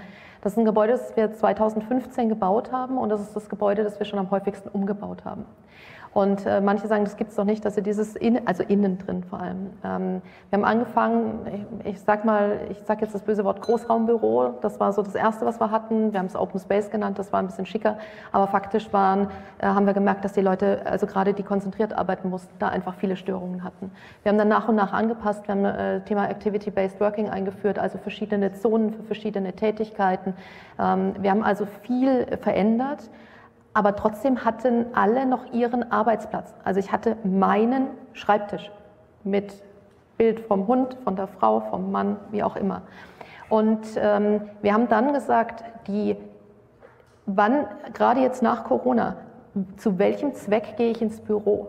Gehe ich wirklich zum Alleinarbeiten, um in Ruhe zu arbeiten ins Büro. Das werden manche machen, die vielleicht kleine Kinder zu Hause haben, aber in der Regel gehe ich ins Büro, wenn ich Kollaboration brauche, wenn ich äh, Teammeetings habe, wenn ich äh, Veranstaltungen habe. Das heißt, wir haben wieder unsere Räume verändert. Wir haben mehr große ähm, Konferenzräume, wenn man so möchte, ähm, die man aber auch sehr flexibel gestalten kann, also wo ich äh, mir Mobiliar unterschiedlich zusammenstellen kann.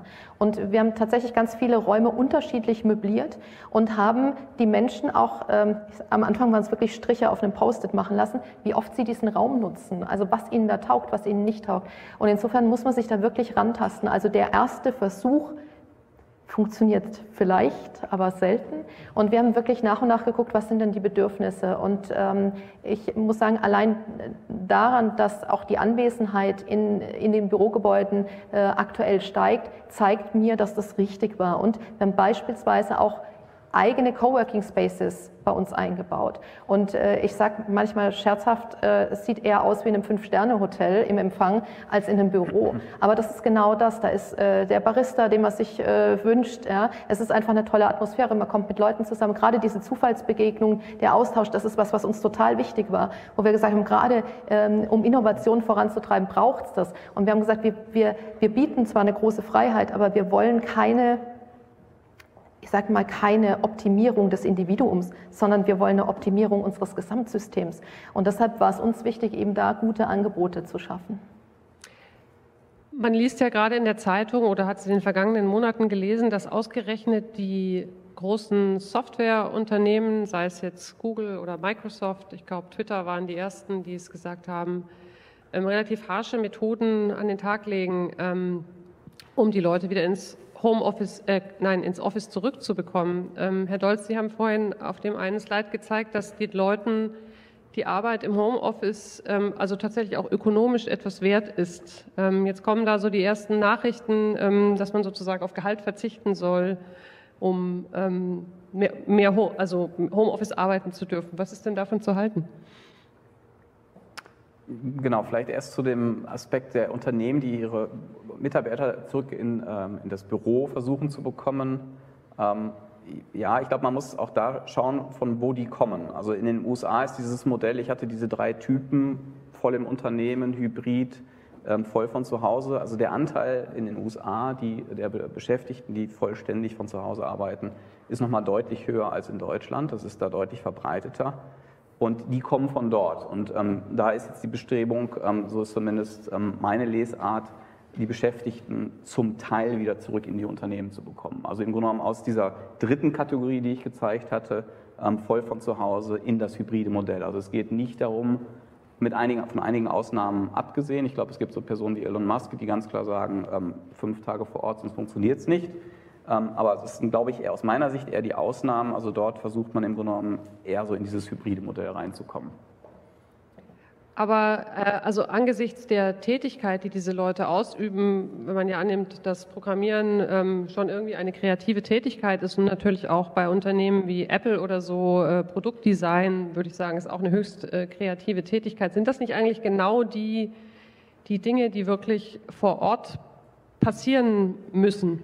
Ja, ist, glaube ich, sehr wichtig zu berücksichtigen, ähm, dass dieses hybride Modell im Grunde genommen auch erfordert, den eigenen Arbeitsalltag sozusagen zu überdenken. Und das ist, glaube ich, jetzt schon gelegentlich hier in der Diskussion auch schon angesprochen worden, ähm, dass man tatsächlich sehr genau überlegt, ähm, was, welche Tätigkeit kann ich besser von zu Hause ausführen und für welche Tätigkeiten fahre ich ins Büro.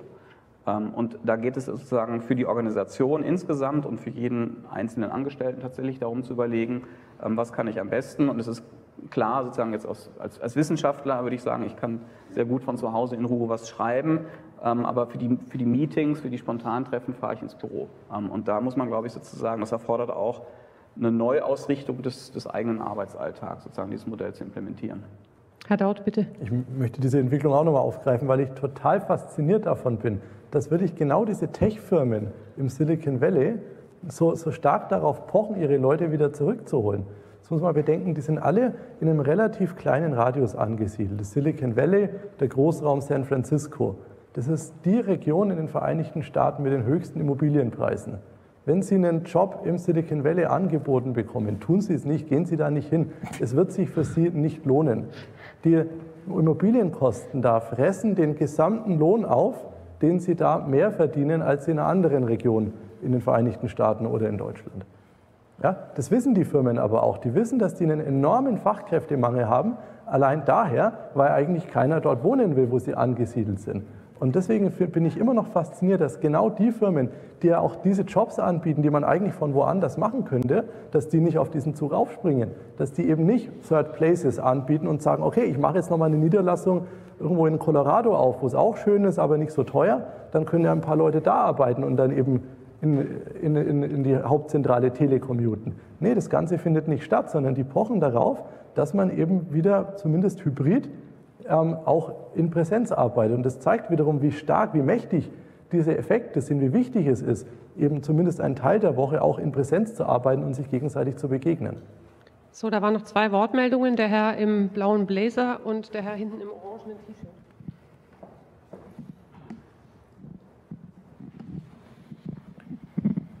Also ähm, Guido Feldhaus ist mein Name. Ich stehe dem Thema Homeoffice durchaus positiv gegenüber, bin auch selber im Homeoffice. Habe noch eine kurze Frage, die über das Thema so ein bisschen hinausgeht, aber mit dem Thema auch sehr viel zu tun hat.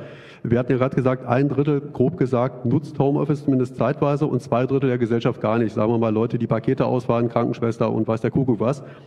Jetzt kann ja der Eindruck entstehen, das ist meine Frage an die Wissenschaft. Ein Drittel der Gesellschaft, also gesellschaftlich gesehen, optimiert das Leben immer weiter, macht es immer bequemer in Anführungsstrichen. Und zwei Drittel, naja, müssen weiter so als zugespitzt Arbeitsproletariat hier äh, uns, äh, dem einen Drittel dann dienlich sein. Macht das auch was mit der Gesellschaft, wenn sozusagen die einen sich immer weiter optimieren und die anderen das nicht können? Oder hat das gar keine Effekte in dieser Richtung? Also ich kann mir, wenn wir uns die Zahlen anschauen, dass es ja tatsächlich diese Tendenz gibt, wenn man erst mal zu Hause gearbeitet hat, dann will man das auch weiterhin tun und wäre sogar bereit, sich in einen anderen, anderswohin zu bewerben. Ähm, das kann natürlich auch auf Personen zutreffen, die eben einen Job haben, der nicht von zu Hause aus ausgeführt werden kann. Meine, wir, wir, leben in einer Zeit des Fachkräftemangels und der auch noch deutlich zunehmen wird. Das heißt, einerseits kann es diesen Effekt geben, diese Unzufriedenheit von Personen, die eben nicht von zu Hause aus arbeiten können. Und eine Gefahr ist oder eine Möglichkeit ist, dass die mit den Füßen wählen und sich dann eben nach neuen Jobs umschauen, die man eben doch von zu Hause aus machen kann. Das heißt, einerseits kann das vielleicht so eine Schere in der Gesellschaft verstärken, es kann aber auch einfach dazu führen, ähm, dass, dass Fachkräfteengpässe in bestimmten Branchen noch zunehmen werden. Ich würde gerne ganz kurz ergänzen, denn ähm, auch wir haben nicht nur Menschen, die Software entwickeln und im Büro sitzen, sondern wir sind beispielsweise auch eine der größten Druckereien in Deutschland, weil bei uns einfach ganz viele Gehaltsabrechnungen auch gedruckt werden.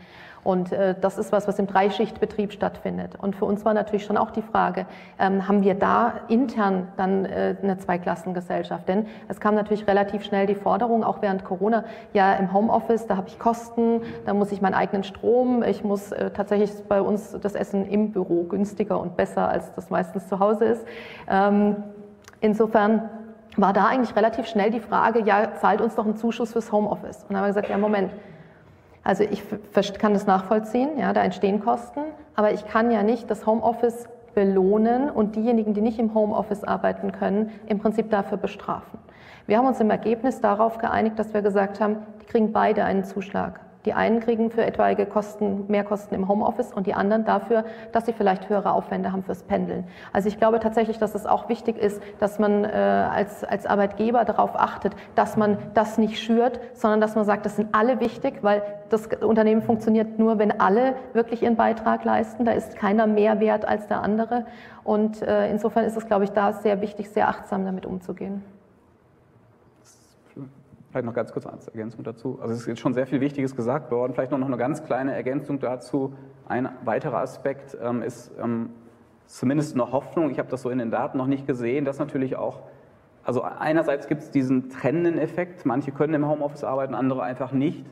Ähm, andererseits kann Homeoffice auch sozusagen Inklusivität stärken, ähm, indem zum Beispiel benachteiligte Gruppen, Menschen mit Behinderungen möglicherweise einen einfachen Zugang in den Arbeitsmarkt finden. Das ist auch nochmal ein weiterer Aspekt des Homeoffice, ähm, der, der möglicherweise eine Rolle spielt. Bartosz Molka bei einem der größten IT-Systemhäuser hier in Nürnberg. Ich möchte nicht nennen welches, aber eine Frage an Sie, Frau Bangert. auch aus den Kommentaren von Herrn Schlag, die Thematik ja Führungskräfte, neuer Führungsstil und sonstiges.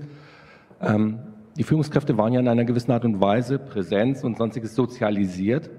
Ähm, was haben Sie getan? Also die Thematik ist ja ein Kulturwandel, ja, und solche Sachen.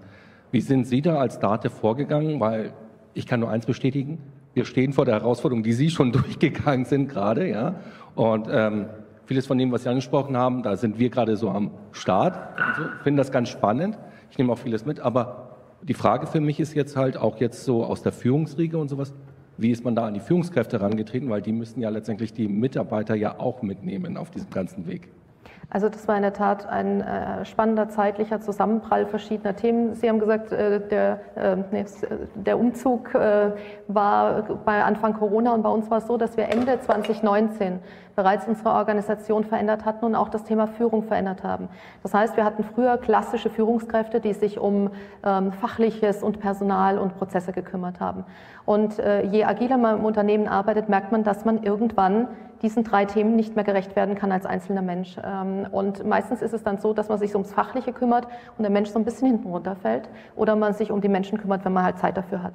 Das heißt, wir haben äh, Ende 2019 entschieden, die Rolle der Führungskraft zu fokussieren. Das heißt, wir haben eine Führungskraft, die sich um die Menschen kümmert, also ein People Lead, wenn man so möchte, und eine Führungskraft, die sich um das Fachliche kümmert, die aber keine Direktberichtenden hat, also ein, ein Product Owner, äh, würde man jetzt in der IT sagen. Und dazu gibt es an manchen Stellen noch äh, agile Coaches oder Scrum Master, die praktisch die Teams im Prozess unterstützen. Und äh, wir haben diese Organisationsänderung im Februar 2020 eingeführt. Und das Spannende ist tatsächlich, dass ich im Nachgang glaube, dass uns das massiv geholfen hat, überhaupt diese Zeit der Pandemie hinzubekommen. Weil natürlich gab es ganz viele menschliche Themen. Also wie organisiere ich meine Arbeit? Was mache ich mit meinen Kindern? Kann ich auch anders arbeiten? Ähm, dafür waren dann diese Führungskräfte Personal, wo man am Anfang so ein bisschen gelächelt hat, sind es die, die jetzt nur noch Kaffee trinken mit den Leuten. Da hat man plötzlich gemerkt, welchen Mehrwert das bietet, wenn es Menschen gibt, die sich wirklich um die Menschen kümmern können, auch um deren ähm, berufliche Weiterentwicklung. Genauso äh, die Menschen, die sich dann ausschließlich aufs Fachliche konzentrieren konnten. Ich habe es vorhin gesagt, da kam dann hier eine Änderung und Kurzarbeitergeld, Sachen, die es seit zehn Jahren in dem Ausmaß nicht mehr gab, die plötzlich da waren. Und das hat uns massiv geholfen. Und ähm, ich, ich, persönlich bin Fan dieser äh, Rollenfokussierung. Das ist schwer und das tut echt weh und das ist massiv schmerzhaft. Ähm, aber es ist aus meiner Sicht ein guter Weg und wir sehen auch, äh, dass im Mittelstand sich das plötzlich immer mehr breit macht. Äh, wir haben ja viel Kontakt in Steuerkanzleien und da sehen wir auch, dass plötzlich die Partner merken, dass sie vielleicht nicht die besten Personalführungskräfte sind, sondern dass es andere gibt, die das vielleicht einfach besser können und da auch Lust drauf haben. Und das ist, glaube ich, was, was uns geholfen hat. Äh, ob das ein Modell für andere ist, muss man sehen, gibt es bei anderen Unternehmen auch. Ähm, das ist aus meiner Sicht was, was hilft. Und da kann ich natürlich diese Führungskräfte, die sich um die Personalthemen kümmern, auch ganz anders unterstützen, auch äh, aus Seiten HR und kann nicht mehr sagen, das ist so ein personaler Thema und da müsst ihr euch drum kümmern, weil das wird nicht funktionieren. Darf ich dazu noch eine zweite diesen Wechsel, ja, sag ich jetzt mal, disziplinarische und Führungskraft, ja, wie war jetzt mal aus dem Nähkästchen geplaudert der Spannungsbogen nach dem Motto, ja, also Fachlichkeit, ich erzeuge den Mehrwert, ja, sage ich jetzt mal, da kann man es messen, ja, und disziplinarisch, ja, ich bin ja für die Personalressourcen. Also ich denke mal, da war sicherlich irgendein gewisser Spannungsbogen und Sie haben ja gesagt, on the long run haben Sie gesehen, dass die HR-Leute ja letztendlich doch zu dem Profit beigetragen haben, weil sie die Leute dabei gehalten haben. Wie war so die Ramp-up-Phase? Waren dann diese Spannungen und wie sind Sie damit umgegangen? Also es war eine Spannung und wir, wir haben äh, ein Kunstwort geschaffen. Wir haben gesagt, das ist ein Tridem. Also es sind ja drei Führungskräfte, wenn man so möchte, wenn man noch den agilen Coach dazu nimmt oder einen Scrum Master. Und wir haben praktisch den, den Tridems ge gezeigt, wie sie idealerweise zusammenarbeiten. Das hat bei manchen besser funktioniert, bei manchen schlechter. Und in der Tat war es so, dass am Anfang waren so die fachlichen Rollen, die die alle haben wollten. Und das Fachliche ist das Coole und damit ist man sichtbar und das ist wertvoll. Und, und das Witzige ist aber, dass jetzt man in den Personalführungsrollen eigentlich schneller Karriere machen kann. Und das ist ganz spannend, also es hat sich verändert, ja. Es ist immer die Frage, welchen Wert gebe ich auch, welche Sichtbarkeit gebe ich auch. Also habe ich Management-Treffen, wo ich dann nur die Fachler irgendwas vortragen lasse. Ja? Also da muss man auch als Unternehmen wirklich aufpassen, dass man diese, diese Wertigkeit ähm, erzeugt. Und äh, es funktioniert auch bei uns nicht alles perfekt. Ja? Also es gibt auch Stellen, da funktioniert es besser und funktioniert schlechter. Ähm, wir haben auch immer wieder Wechsel zwischen den Rollen, weil man schon einfach merkt, Mensch, liegt mir das, liegt mir das für einen bestimmten Zeitraum und das ist auch gut so.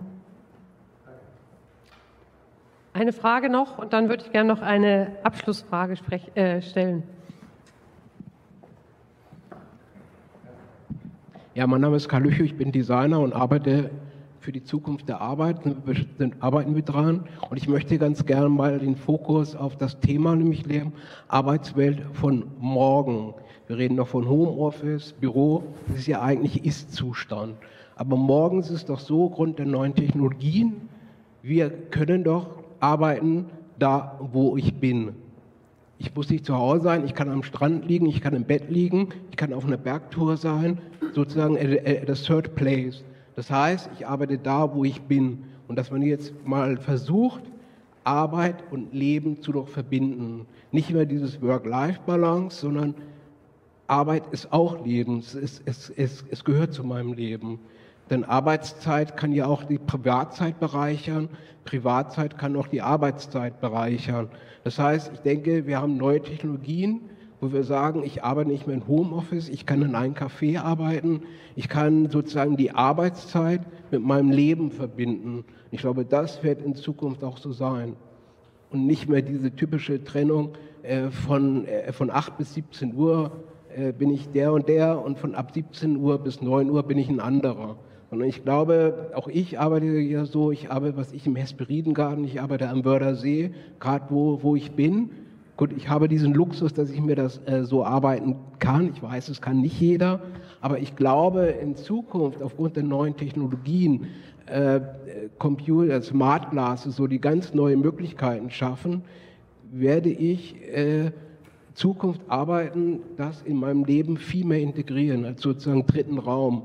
Oder ich nenne es einfach mal als Work äh, Landscape. Ich kann im Wald arbeiten, ich kann da, wo ich bin und nicht mehr dieses Homeoffice oder Büro. Die Frage ist sogar, äh, brauchen wir überhaupt ein Büro? Wenn ich mich mit Kunden treffe, ja, ich gehe in, in, die Hotel One Bar und da treffe ich mich und da können wir sehr gut im 14. Stock Blick über Nürnberg, über deren Zukunft diskutieren.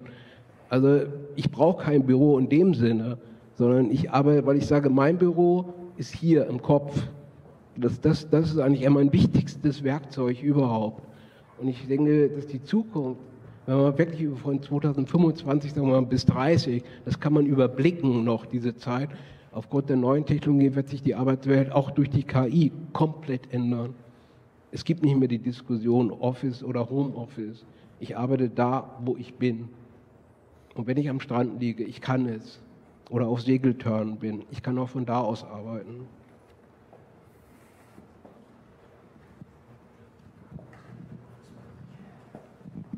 Ja, danke. Ich frage mich, ob Sie Gedanken lesen können, weil ähm, meine Abschlussfrage wäre genau äh, in diese Richtung gegangen. Also nicht, wie sieht das Arbeiten von morgen aus, sondern wie sieht das Arbeiten von übermorgen aus. Also beamen Sie sich alle mal ins Jahr 2040, würde ich vorschlagen, kurz die Augen zu machen. Und ähm, ja, wie werden wir denn dann arbeiten? Ich fange mal bei der Wissenschaft an. Also in in, in, in, meiner Forschung bin ich es eigentlich gewohnt, eher mit Daten von Dingen, die bereits geschehen sind, zu schauen, was wir da für Schlüsse drauf Extrapolieren heißt das dann, glaube ich, oder? Extrapolieren. Natürlich werden wir auch immer, also eins meiner großen Forschungsthemen ist tatsächlich auch, wie sich der Arbeitsmarkt an den technologischen Wandel, insbesondere die Automatisierung, anpasst. Und wenn ich da meine Ergebnisse vorstelle, dann kriege ich immer gesagt, ja, aber dieses Mal wird es anders. Wenn die, wenn die KI den Arbeitsmarkt umkrempelt, dann, dann wird es tatsächlich Massenarbeitslosigkeit zum Beispiel geben. Das ist jetzt ein anderes Beispiel, aber es ist schwierig, wirklich in die Zukunft zu schauen, weil meistens so Prognosen, es wird irgendwas geben, was so disruptiv ist, dass alles umgekrempelt wird, ähm, tue ich mich schwer daran zu glauben, weil es in der Vergangenheit eben auch nie passiert ist. Das heißt, mir fehlt ein bisschen die Fantasie, mir vorzustellen, dass wir wirklich komplett unabhängig vom Büro sind, um persönliche Interaktion machen zu müssen, dass wir keine Arbeitsmittel mehr brauchen, wie wir sie bis jetzt gewohnt sind, mein erster Gedanke an, an Ihren Beitrag war, im, im Hesperidengarten oder im Café gibt es keinen höhenverstellbaren Schreibtisch und auch keinen großen Monitor, den ich aktuell noch für meine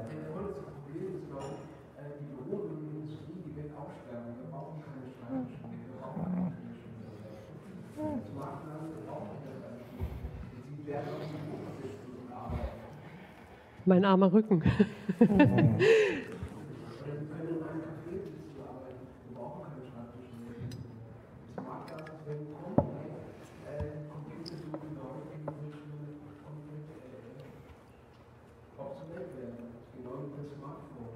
Dolz, ein bisschen Science Fiction von Ihnen, bitte. Fällt mir, fällt mir auch schwer, muss ich, muss ich gestehen. Äh, ich würde, mit Prognosen liegt man meist falsch. Ähm, ähm, Sie beraten ja jetzt nicht die Bundesregierung. Genau, also wenn ich eine Prognose wagen würde, dann ähm, würde ich sagen, wir, wir kommen nicht in die Vor-Corona-Welt zurück, ähm, weil was, was wir schon in unserer Forschung sehen, es gibt eine große Präferenz Heterogenität. Also es gibt Menschen, die mögen das Homeoffice sehr und es gibt Menschen, die arbeiten lieber im Unternehmen. Und ähm, ich glaube, dass sich deswegen, das wäre jetzt ja, meine Prognose, einfach verschiedene Modelle in irgendeiner Form in Zukunft etablieren werden. Wir werden nicht in diese starre Präsenzkultur fünf Tage im Unternehmen, denke ich, zurückgehen, zumindest nicht in der breiten Masse. Es werden sich verschiedene ähm, Modelle durchsetzen und das ist vielleicht auch gut so. Also weil ähm, letztendlich, wenn, wenn man seine Präferenzen sozusagen verwirklichen kann, wenn ich gerne fünf Tage die Woche im Unternehmen arbeite, dann finde ich vielleicht ein Unternehmen, in dem ich das umsetzen kann. Und wenn ich gerne zwei, drei Tage die Woche von zu Hause arbeiten kann, ist es super, wenn ich ein Unternehmen finde, wo ich das umsetzen kann. Und insofern, ähm, ich glaube, es gibt sowohl auf Seiten der Unternehmen als auch auf Seiten der, der Angestellten unterschiedliche Präferenzen. Und ähm, genau, wir Ökonomen sprechen da von Matches. Und insofern glaube ich, dass es eine gewisse Vielfalt in Zukunft geben wird. Frau Bangert, wie wird es denn bei Ihnen im Unternehmen im Jahr 2040 aussehen? Also ich, schließe mich erstmal äh, Ihnen an. Äh, es gibt die unterschiedlichen Präferenzen. Es gibt auch jetzt schon die Third Places. Also äh, bei uns ist äh, Homeoffice synonym. Also man kann auch aus einer Niederlassung oder auch aus einem Café, wenn es äh, die Tätigkeit zulässt und auch der Datenschutz zulässt, ähm, jetzt auch schon arbeiten. Ich glaube tatsächlich, dass das definitiv bleiben wird. Also ein Hybridansatz wird bleiben. Ich glaube tatsächlich, dass sich die Art der Arbeit komplett ändern wird, weil die Frage ist nämlich, welche Bindung habe ich noch an den Arbeitgeber, wenn ich von überall aus arbeiten kann. Wir sehen ja auch jetzt, dass die Generation Z oftmals auch nur in Teilzeit für einen Konzern beispielsweise arbeitet und nebenbei als Coach tätig ist oder oder. Also äh, man spricht auch teilweise von, äh, von Arbeitnehmer-Ecosystems. Also habe ich überhaupt perspektivisch, weil wir sprechen ja von 2040, ähm, überhaupt noch den einen Arbeitgeber? Also ist das überhaupt noch ein Modell, das es in Zukunft geben wird? Oder arbeite ich nicht vielleicht ähm, einen Teil meiner Zeit, ähm, auch die Frage ist, ist Zeit überhaupt eine Währung gegen Geld oder ist es nicht ein Ergebnis? Ja, also ich glaube tatsächlich, dass sich das verändern wird, dass dieses, ich habe einen Arbeitgeber und bei dem bleibe ich möglichst lange, das glaube ich tatsächlich ist kein Zukunftsmodell. Ja.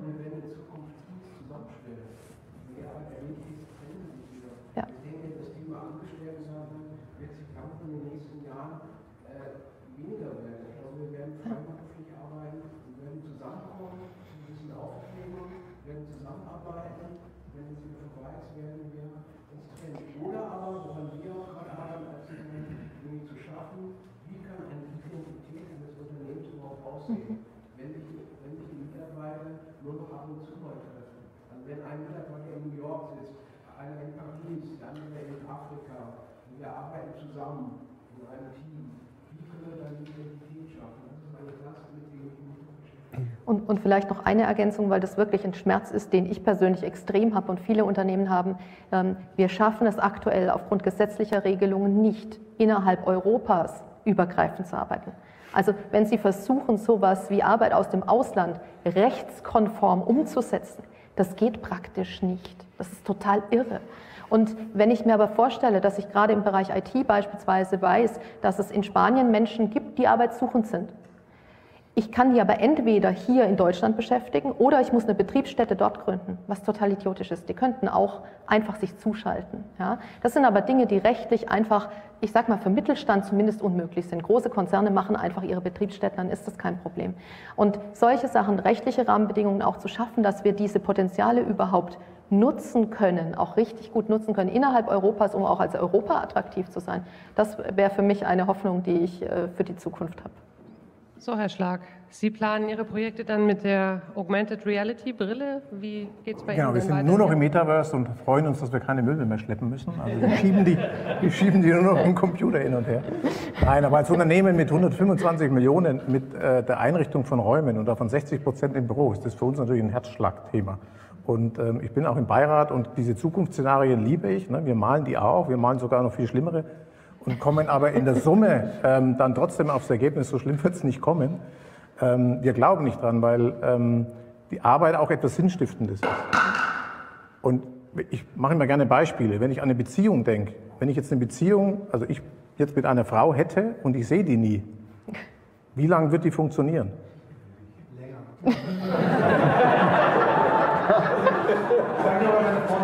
Hängt jetzt von den Erfahrungen ab. Aber wie sinnstiftend ist das, äh, wenn ich dann vor allem auch noch Nachwuchs haben will, dann wird es schon schwieriger. Ne? Und ähm, auch das Thema, warum will ich denn Menschen ins Haus bringen? Also es gibt ja also auch Wissenschaft darüber, wann ist denn, wann entsteht denn Kreativität? Wann ist man kreativ? Und wann ist kreativ, wenn man sich mit anderen Menschen trifft, wenn man ein Thema bespricht und wenn man dann ganz etwas anderes tut. Und, äh, und dann kommen plötzlich Ideen und dann brauche ich wieder meinen Partner. Also es gibt genügend Gründe, warum es Sinn macht, sich zu treffen. Ich bin schon bei Ihnen, dass man sagt, ja, das kann sich ändern, das kann auch vielleicht für verschiedene Unternehmen sein. Aber es wird diese Begegnungsorte geben, weil Arbeit nicht nur Arbeiten ist. Arbeit ist nicht nur Geld verdienen. Arbeit ist auch soziale Interaktion. Ich möchte mit Menschen intim sein. Ich möchte etwas Sinnstiftendes tun. Ich möchte gemeinsam feiern können, weil wir erfolgreich sind. Und das ist die Führungsaufgabe und das ist die Aufgabe der Unternehmen. Und daran glauben wir als Designfunktion gruppenweit, dass das ja sich verändern wird, aber dass das sich eher verstärken wird und man eher vielleicht genauer hinschaut, was tut man. Wir kommen aus einer Welt, wo wir Arbeit über einen Schreibtisch definieren und alles, was wir tun, tun wir an diesen einen Schreibtisch. Und wir lernen gerade durch Homeoffice, durch andere Dinge, durch Third Places und so weiter, dass es eigentlich auch anders geht und dass wir damit eigentlich äh, viel Positives bewirken können, wenn wir es richtig tun. Und deswegen bin ich äh, für das Jahr 2040 zuversichtlich, dass wir auch uns noch begegnen werden. Und vielleicht machen wir noch mal eine Podiumsdiskussion. Weiß ich nicht, ob ich da noch. Äh, aber gut. Genau, also ich glaube, da gibt es dann auch noch ähm, viel, viele Themen für einen Austausch ähm, in dem Teil, der nach dieser Podiumsdiskussion ähm, angedacht ist. Ich würde an dieser Stelle mal einen Cut machen. Ich glaube, man könnte noch über ganz viel sprechen, aber wir haben auch schon ganz viel angesprochen und haben das Thema eingekreist, soweit es geht. Ähm, noch nicht so viel in die Zukunft geschaut, wie sich der eine oder andere vielleicht gewünscht hätte, aber wir bleiben weiter dran an dem Thema, würde ich sagen. Ich möchte mich noch mal ganz herzlich für die Gastfreundschaft hier in der IHK bedanken und danke natürlich auch äh, den Panelistinnen und Panelisten für ihre kompetenten Beiträge. Und ja, wie gesagt, ich hoffe, dass die Diskussion gleich noch weitergeht, denn es gibt, und das vergesse ich nicht, äh, noch einen Empfang im Untergeschoss, zu dem die IHK herab Sie alle herzlich einlädt. Sie möchten das Mikro noch mal. Moment, stopp!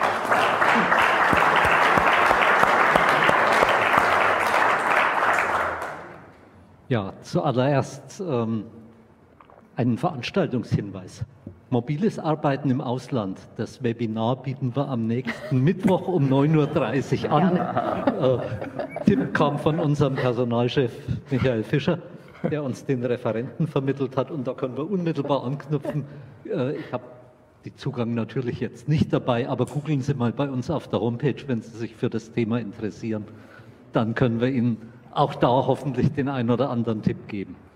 Der zweite Satz, einen ganz herzlichen Dank an das IFO-Institut als wunderbaren Partner für die Veranstaltung, an Sie alle für Ihr Kommen und Ihren Input. Das war deutlich mehr, glaube ich, als ich mir erwartet hatte. Und ich denke, insofern ist es bloß verdient, dass wir jetzt sagen, jetzt treffen wir uns im Foyer äh, beim kleinen Imbiss zum weiteren Austausch, zum Netzwerken. Dankeschön.